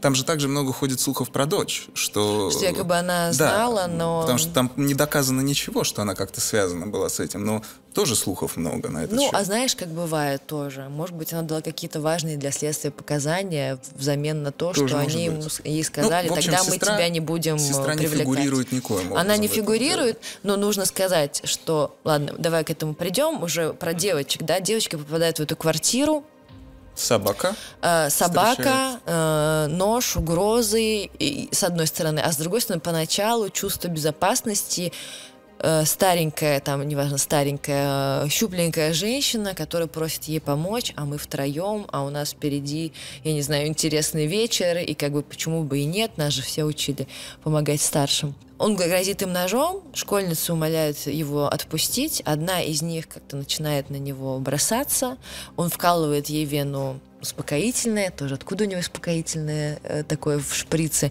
Ну, ему же прописывали, с другой Да. стороны, что-то, наверное, оттуда. Может, маме прописали, мама отдала любимому сыну. Любимому сыну, да, для того, чтобы он вот э, опаивал, ну не опаивал, а обездвиживал своих жертв. А, в этот момент, пока он, значит, вводит обезболивающее, вводит успокоительное, а, девушка девочка Настя э, накинулась на него, чтобы его оглушить, но промахивается и, соответственно, вызывает, естественно, у него бурю агрессии, э, и он ее э, убивает первый, так он описывает. Я нанес несколько ударов в область сердца, ниже чуть-чуть, где-то около желудка, в горло. Она пр- продолжала жить, а я э, на веревке удавил ее. И дальше происходит, ну, как бы перемотайте, если что. Лучше перемотайте, да. Он заставляет подружек э, расчленить тело Насти, то есть делает это не сам, а заставляет это делать девочек. Ам, и более того, заставляет отделять э, кость от мяса. Что-то он скармливает, кости, видимо, он скармливает собаке. А из э, мяса э, Людмила Списивцева варят суп, который заставляет этих девочек есть. При этом все это время ну, мама в квартире, потому что мы понимаем, да, что это уже не в ее отсутствие происходит. Может быть, она уходила, но так или иначе она привела. И по некоторой информации в этот момент в квартире присутствует э, сестра, сестра. вот как раз-таки, вот да, именно здесь. свидетельство, что тут она была, Да, она и, и свидетельство же еще у девочки, да, которая успела дать показания, которая говорит, что была в квартире бабулька и женщина. Соответственно, ну, если это бабулька, то женщина — это сестра. Соответственно, она тоже, скорее всего, это видела, но на этом как бы Списивцев не остановился, он э, мучил их, э, сколько он их мучил? Сейчас я скажу. Месяц, ровно месяц он их мучил. Эм, в один из дней он услышал, что девочки там задумали побег, и тоже в отместку решает э, ну, надругаться на одной из них и, ну, забил ее просто там головой о, о пол до смерти. Ну, и нужно сказать, что все это время он насилует девочек, эм, всяческими изощренными способами. Он ее насиловал, э, пытал, ломал руки. И когда она, наконец, э, умерла, он оставил ее тело на три дня и открыл форточку, чтобы ее душа вылетела. Э. Он запретил всем прикасаться, то есть никто то есть мать э, по показаниям вот именно из немецкой книги, она хотела его, но он запретил ее вообще никому. Она лежала в кровати, они все... Он спал на полу, а вторая девочка была, третья точнее, уже прикована к батарее. Это первый раз произошло? Ну, то есть это первый такой случай, когда он запретил прикасаться? Нет, и... у него всегда это было, это было и в первом случае. То есть убийства. это ритуальная история? Да, то есть у него, у него был какой, имелся какой-то комплекс вот этого э, религиозного бреда в рамках которого, что его идее, что душа вот уходит на третий день из тела.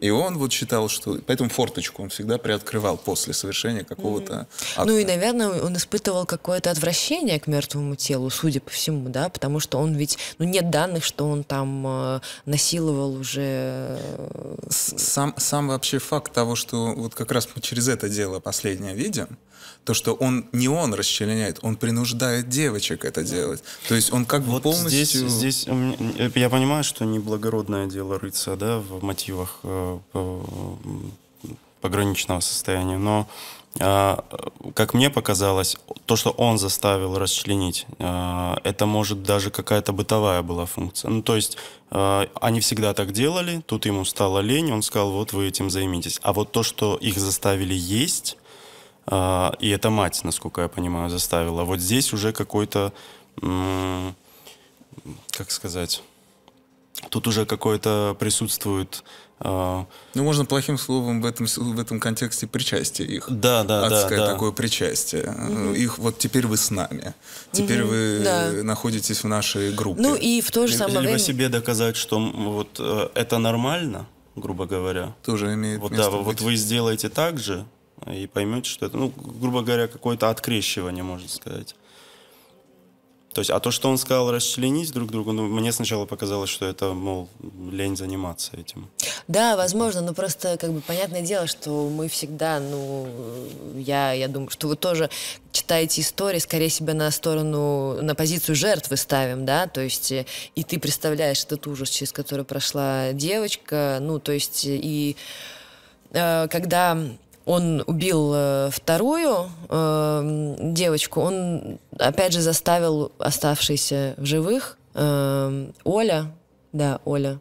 Там еще есть факт того, что она пыталась после... вторую девочку откачивать какое-то да, время. Да, да, да. Она пыталась откачивать, что-то час она делала она искусственное, час, дыхание. Искусственное дыхание, массаж э, сердца, но... Да, но уже как бы... Было поздно. Было поздно. Ну вот, и через три дня он заставил э, Олю, оставшуюся в живых э, на тот момент девочку, э, расчленить тело. Ее торс Жени нашли в ванной, когда следователи уже ворвались в эту квартиру. Ну и, собственно, конечности, все остальное было разложено по там, бочонкам, кастрюлям и всем емкостям, которые были в доме. Ну вот, кстати, каннибализм и отвращение не противоречат друг другу? Что ты имеешь в виду под... Вот был э, задан вопрос... Э, отвращение он... к мертвому телу Отвращение и к мертвому телу и каннибализм не противоречат друг другу? В этой ситуации, опять-таки, в случае с Писивцем мы видим его четкую, вот он отгораживается от всех. То есть мама берет на себя функцию в обществе. Покупка продуктов, покупание каких-то социальных нужд. То есть, опять-таки, если мы рассматриваем в парадигме вот этих действий, что он заставляет девочек расчленять трупы, то мы можем это предполагать ранее, что он совершенно не хотел себя никак. Он приходит и поест. То есть для него, например, у некоторых преступников переход в одно там помещение – это переключение его образа. Не будем забывать, что шизофрения – это что? Это не раздвоение личности, это расщепление личности, это схизис. То есть и в этой ситуации вот этот схизис, то есть в, одно, в этой комнате он власть и все, а там он с мамой разговаривает о политике, погоде и прочее, прочее, прочее. Съел суп, его, он не интересуется, как мама готовила этот суп, как она это создавала. Она же ему приносила продукт, она уже ему создавала вот эту среду обитания, в которой он существовал. Я, вероятнее всего, гигиену он вообще никакую не поддерживал, поэтому, то есть, скорее всего, тут отвращение именно факт, он сам-то никогда не говорил про то, что ему неприятно это было делать. Он просто не хотел выходить куда-то и не хотел где-то светиться. То есть есть эти записи, когда баба, ой, мама с ведрами идет в подъезде по лесенке. Еще и важный факт. Они никогда не ездили на лифтах. Угу. Они, Хотя жили там Да, на... 11-9 этаж да. там был. Какая-то клаустрофобия. Э, вот это тоже странность, они никак это не аргументировали, почему им не нравится. То есть есть огромное количество людей, которые не любят ездить в метро и не любят ездить там в лифтах. Это связано там со страхом застрять, со страхом упасть. В их случае, то есть все вот видеокамеры, которые были по подъезду, важно, что в их подъезде были уже на тот момент камеры и у подъезда. То есть вот мама идет с этими ведрами по улице, идет по лестнице, и вот то есть можно представить, какой путь она проделала каждый раз, чтобы вынести как минимум там хотя бы два тела. Девочек начали искать, э, ну, целый месяц, как мы понимаем, их не могли найти. И следы приводят в этот самый магазин, где Списивцева с ними познакомилась. И продавщицы рассказывают о том, что девочки общались с некой бабулькой, пожилой женщиной, вот, и составляется фоторобот этой женщины. Этот фоторобот опознает участковый, э, который жил, ну, который отвечал за район где стоял дом и стоит Списивцевых, и он вспоминает, что вот была такая Людмила Списивцева, которая какое-то время жила в этой квартире, э, и решает проверить, э, ну, поговорить с ней, мало ли там.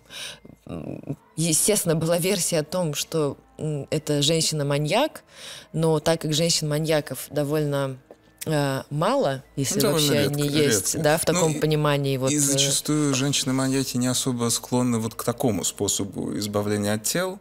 Это обычно от, отравление или фальсификация того, что он умер от как, остановки сердца, хотя там был отравлен каким-то стрихнином. То есть чаще это происходит именно каким Ну, так как э, женщина изначально предполагает, что физически она не может там побороть крупного мужчину, она использует более такие рациональные, более ну, мудрые, да, продуманные, более продуманные методы. Да. И так получилось, что в эту квартиру выехали с одной стороны э, милиция, а с другой стороны коммунальщики.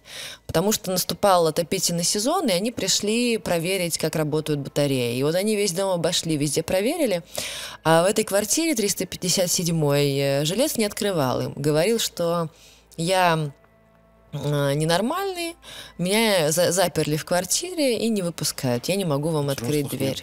Мамы нет да. дома, да. мама придет, тогда поговорите. Да. А, и все как-то, опять же, может быть, это киношное преувеличение, но как будто бы чуть ли не в один час и миг сложились и коммунальщики, и э, оперативник э, участковый, в смысле, который туда Ну, мы не будем исключать, такое бывает. Конечно, То бывает. есть Тед Банди, когда он заснул просто в жуке в неположенном месте. Ну да, да. И его взяли. И помимо, значит, коммунальщиков и э, участкового, еще и оперативники выехали к этой квартире, потому что они поняли, что все сложилось. А как они поняли, что все сложилось? Когда участковый рассказал про эту Людмилу Списивцеву, они узнали, что у нее есть сын Александр Списивцев. А, по их данным, он состоял на учете, вернее, находился в данный момент в больнице психиатрической. Они позвонили в эту психиатрическую больницу, а там им сказали, что человек уже как несколько лет у нас не находится. Ну и, конечно, все сложилось. Они все туда выехали, выломали дверь в квартиру. Он успел э, сбежать ненадолго, но тем не менее он скрылся. Там важен момент, вот, например, в немецкой книге описан э, очень интересный фрагмент как э, входят они в квартиру, сначала они ничего не понимают. То есть они чувствуют сильнейший смрад, но они проходят через коридор и входят в ту комнату и видят девочку, укрытую одеялом. То есть еще не понимают, что с ней.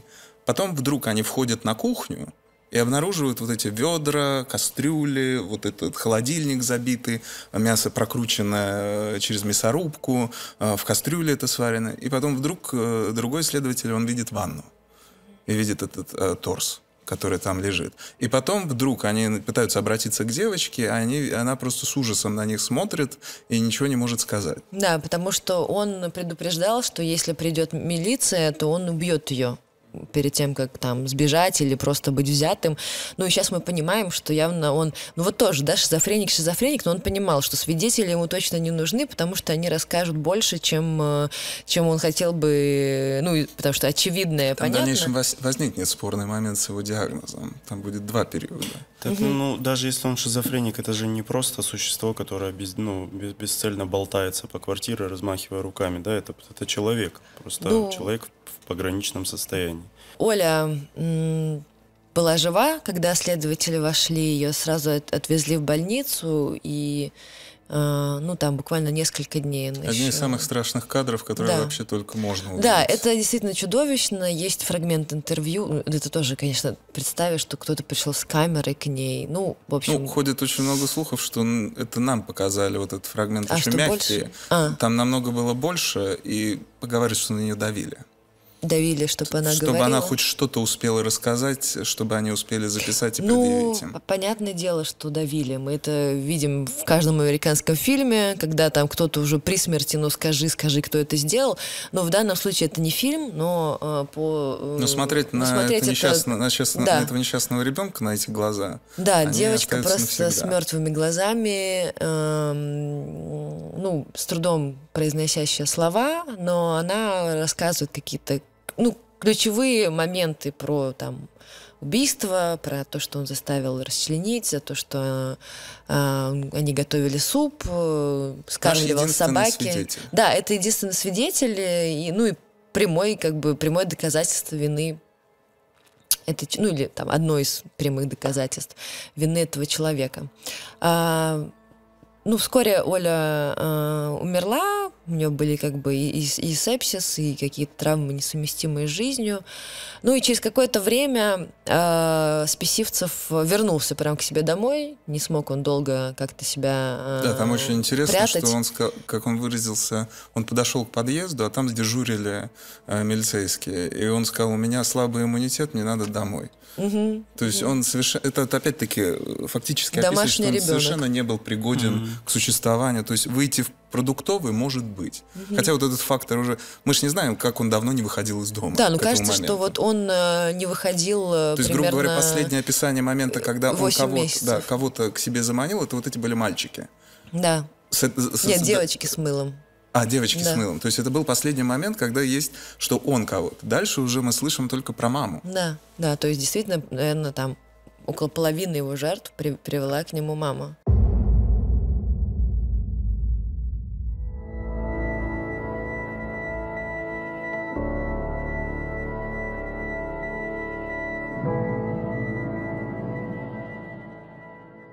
Всех арестовали, э, мать э, Списивцева, им устроили очную ставку, фрагменты которой можно увидеть, на которой они общаются, ну, скажем так, не как любящие друг друга люди, а скорее люди, которые хотят спихнуть друг на друга преступления.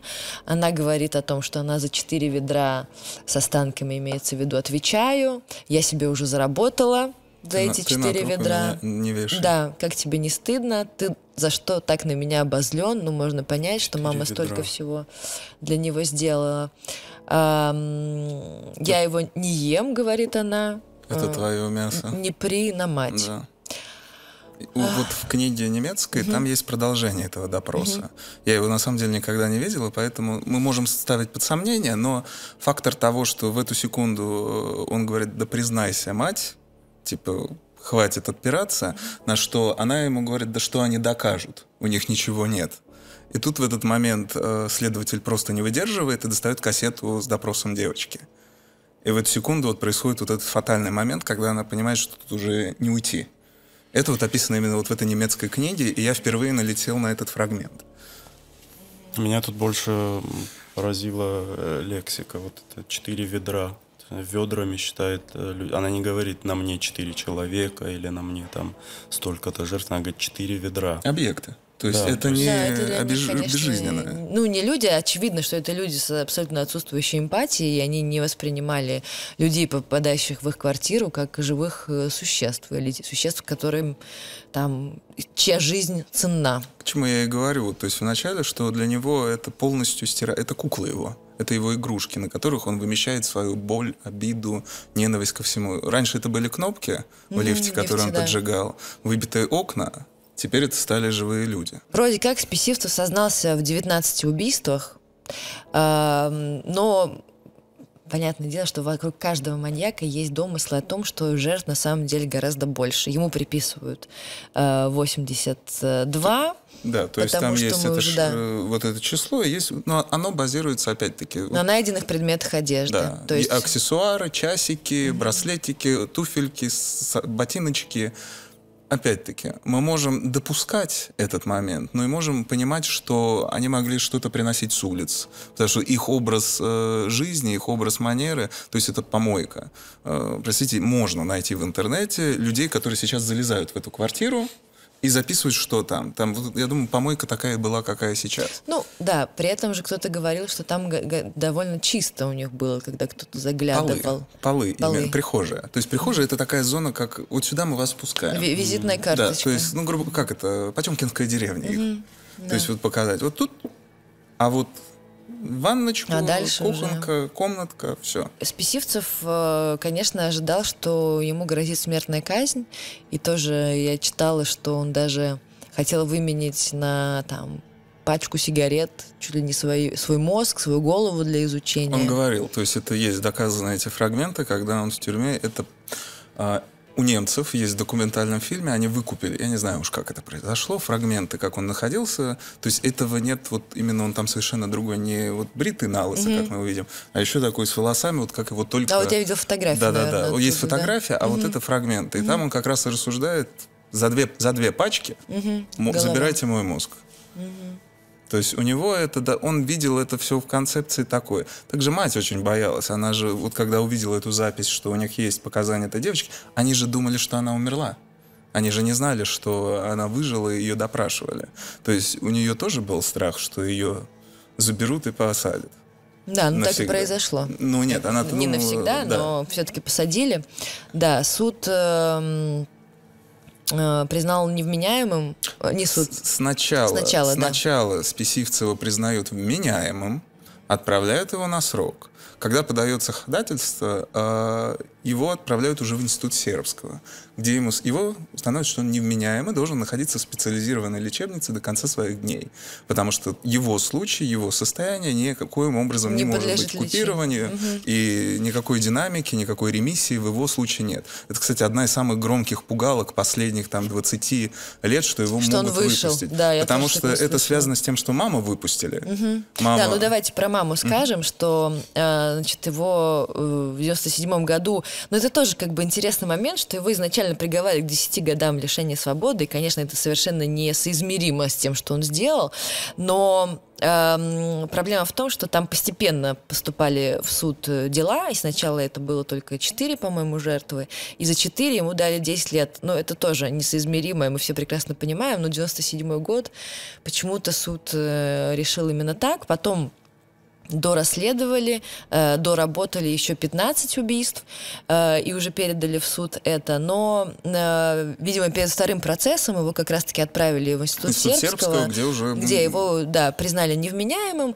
Э, на всякий случай скажу, что невменяемость — это э, понятие уголовного права, что он- это не относится к тому, что человек нормальный или нормальный. Это невменяемость, э, диагноз невменяемости ставят при, э, поставле, при постановке этого диагноза отвечают на там два вопроса, условно, осознавал ли человек... Ну да, э, се- сербская как раз именно отвечает за эту базовую функцию, что туда не просто отправляют, а следователь задает, следствие задает вопросы. Мог ли он осознавать в момент Да. убийства... э, что- Общественную опасность Да, своих общественную деяний. опасность. Понимал ли он, что он совершает правонарушение? Не понимал ли он? И вот э, и мог ли он психиатр, контролировать да, себя на момент совершения отвечает на эти базовые вопросы. То есть психиатр никоим образом образом не участвует в следственном процессе, он просто отвечает на, это, на эти вопросы. Если в процессе опроса выходит новая какая-то информация, то психиатр становится участником следственного процесса и дает показания уже в суде. То есть на вопрос, э, понимал ли он, совершает ли он преступление или общественно э, опасное, деяние. опасное деяние, э, ответ нет.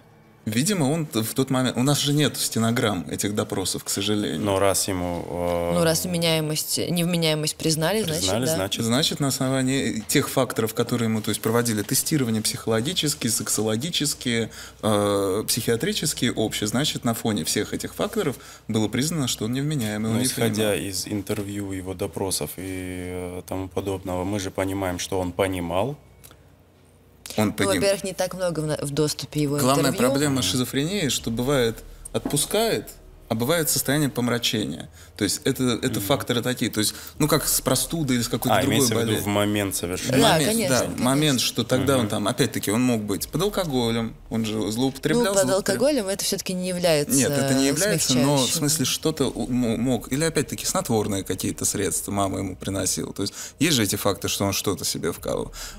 Проблема того, что у нас нету четких. Мы доверяем институту сербского, потому что то есть, постановка была, установлен диагноз. Да, ну, диагноз установили, и его определили в, в город Камышин, Волгоградской области, спецлечебница, э, где он находится до сих пор.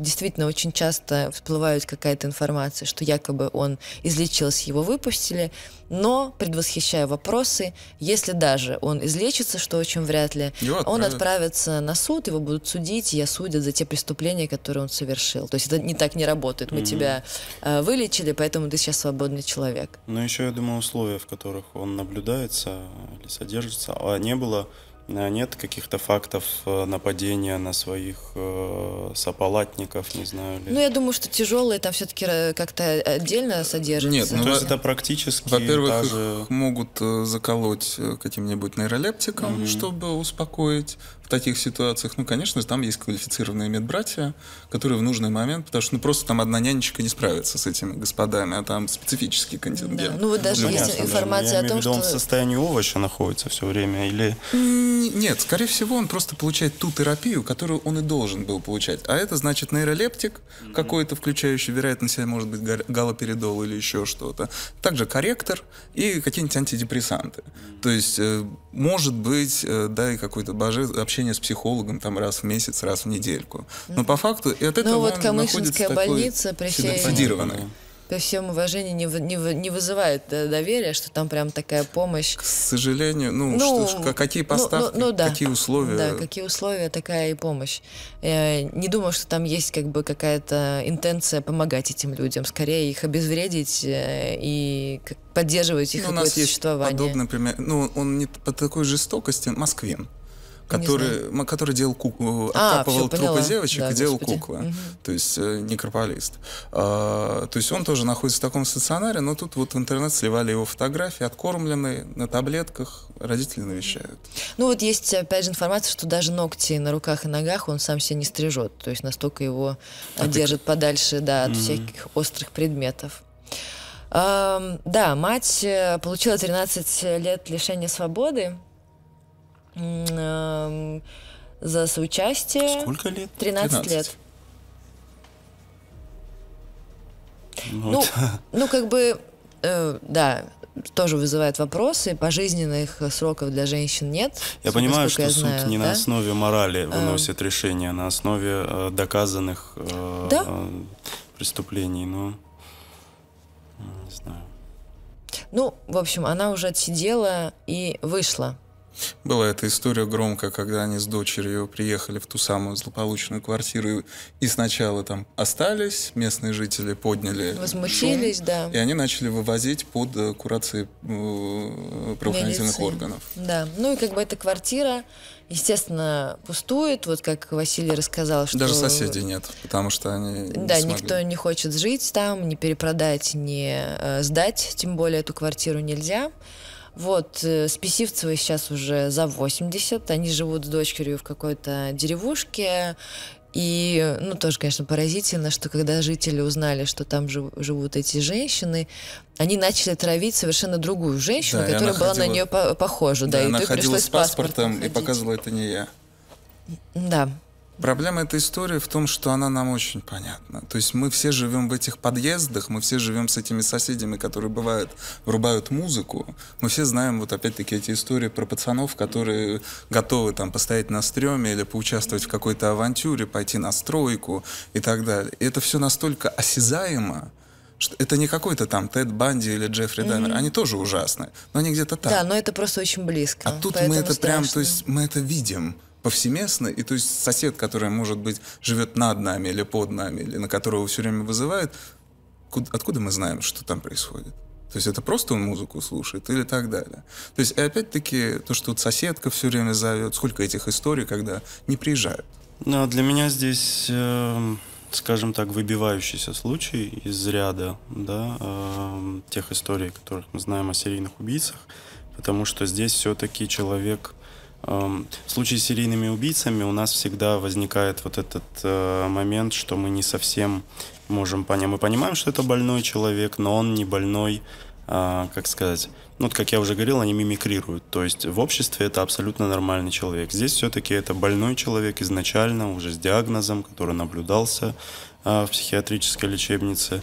И здесь у меня больше вызывает интерес в этом плане личность матери, потому что она основной так- какой-то такой а, и ей при этом дали 13 лет, и она при этом уже на свободе, и она при этом не наблюдалась в э, психиатрической клинике, хотя а, вопросы имеются, да, к этой ситуации, потому что приводить сыну жертв а, маньяк для меня вот здесь, здесь вот это для меня больной человек. Да, он убийца, я, мы сейчас не, не отрицаем. Он убийца, но для меня он больной человек. А вот это, это маньяк. Ну да, мать. то есть она э, условно на улице она решала, кому жертв, жить, а кому да, нет. Что, что типично для маньяков. Она э, находила жертв, она приводила жертв, доманивала, а она избавлялась от жертв. То есть, а вот этот такой, ну, зверь. Как бы это не... Сейчас не будем вдаваться в моральные аспекты этого названия, но это, это по факту зверь. И эта вся история, она не подкладывается в то, о чем мы все время обсуждаем, разные жертвы, разный пол, разный там возраст. Да, то есть, нет фиксации. Да, грубо говоря, на- если мы берем, вот у вас э, был прекрас, прекрасный ролик про Сливко, то есть интересно, вы вот разобрали, у него есть психодинамическая... Ну вот, кстати, да, с Эмиром. Да, у вас есть, вы разбираете, у него есть четкая психодинамическая концепция. Э, Что я имею в виду? То, что у него есть фабула пиня- пионеры, у него есть съемка, ботиночки, удушение. удушение. То есть это психодинамика. Он пытается воссоздать тот самый момент, когда он был Да, и наивы- получает от да, этого. наивысшее возбуждение у него было вот в тот момент, когда он увидел этого окровавленного мальчика, выносимого после аварии. Он у Списивцева же мы не видим какой-то вот четкой фабулы. Абсолютно Вот психотические да, такие то почему так много теорий, и исследователи хватались за любую нить, которую только могли уловить. И все было просто впустую лишь из-за одной а, бумажной ошибки, что не был отправлен фактор, что он Да, снят. одна бюрократическая Да. ошибка. Как могло все быть иначе?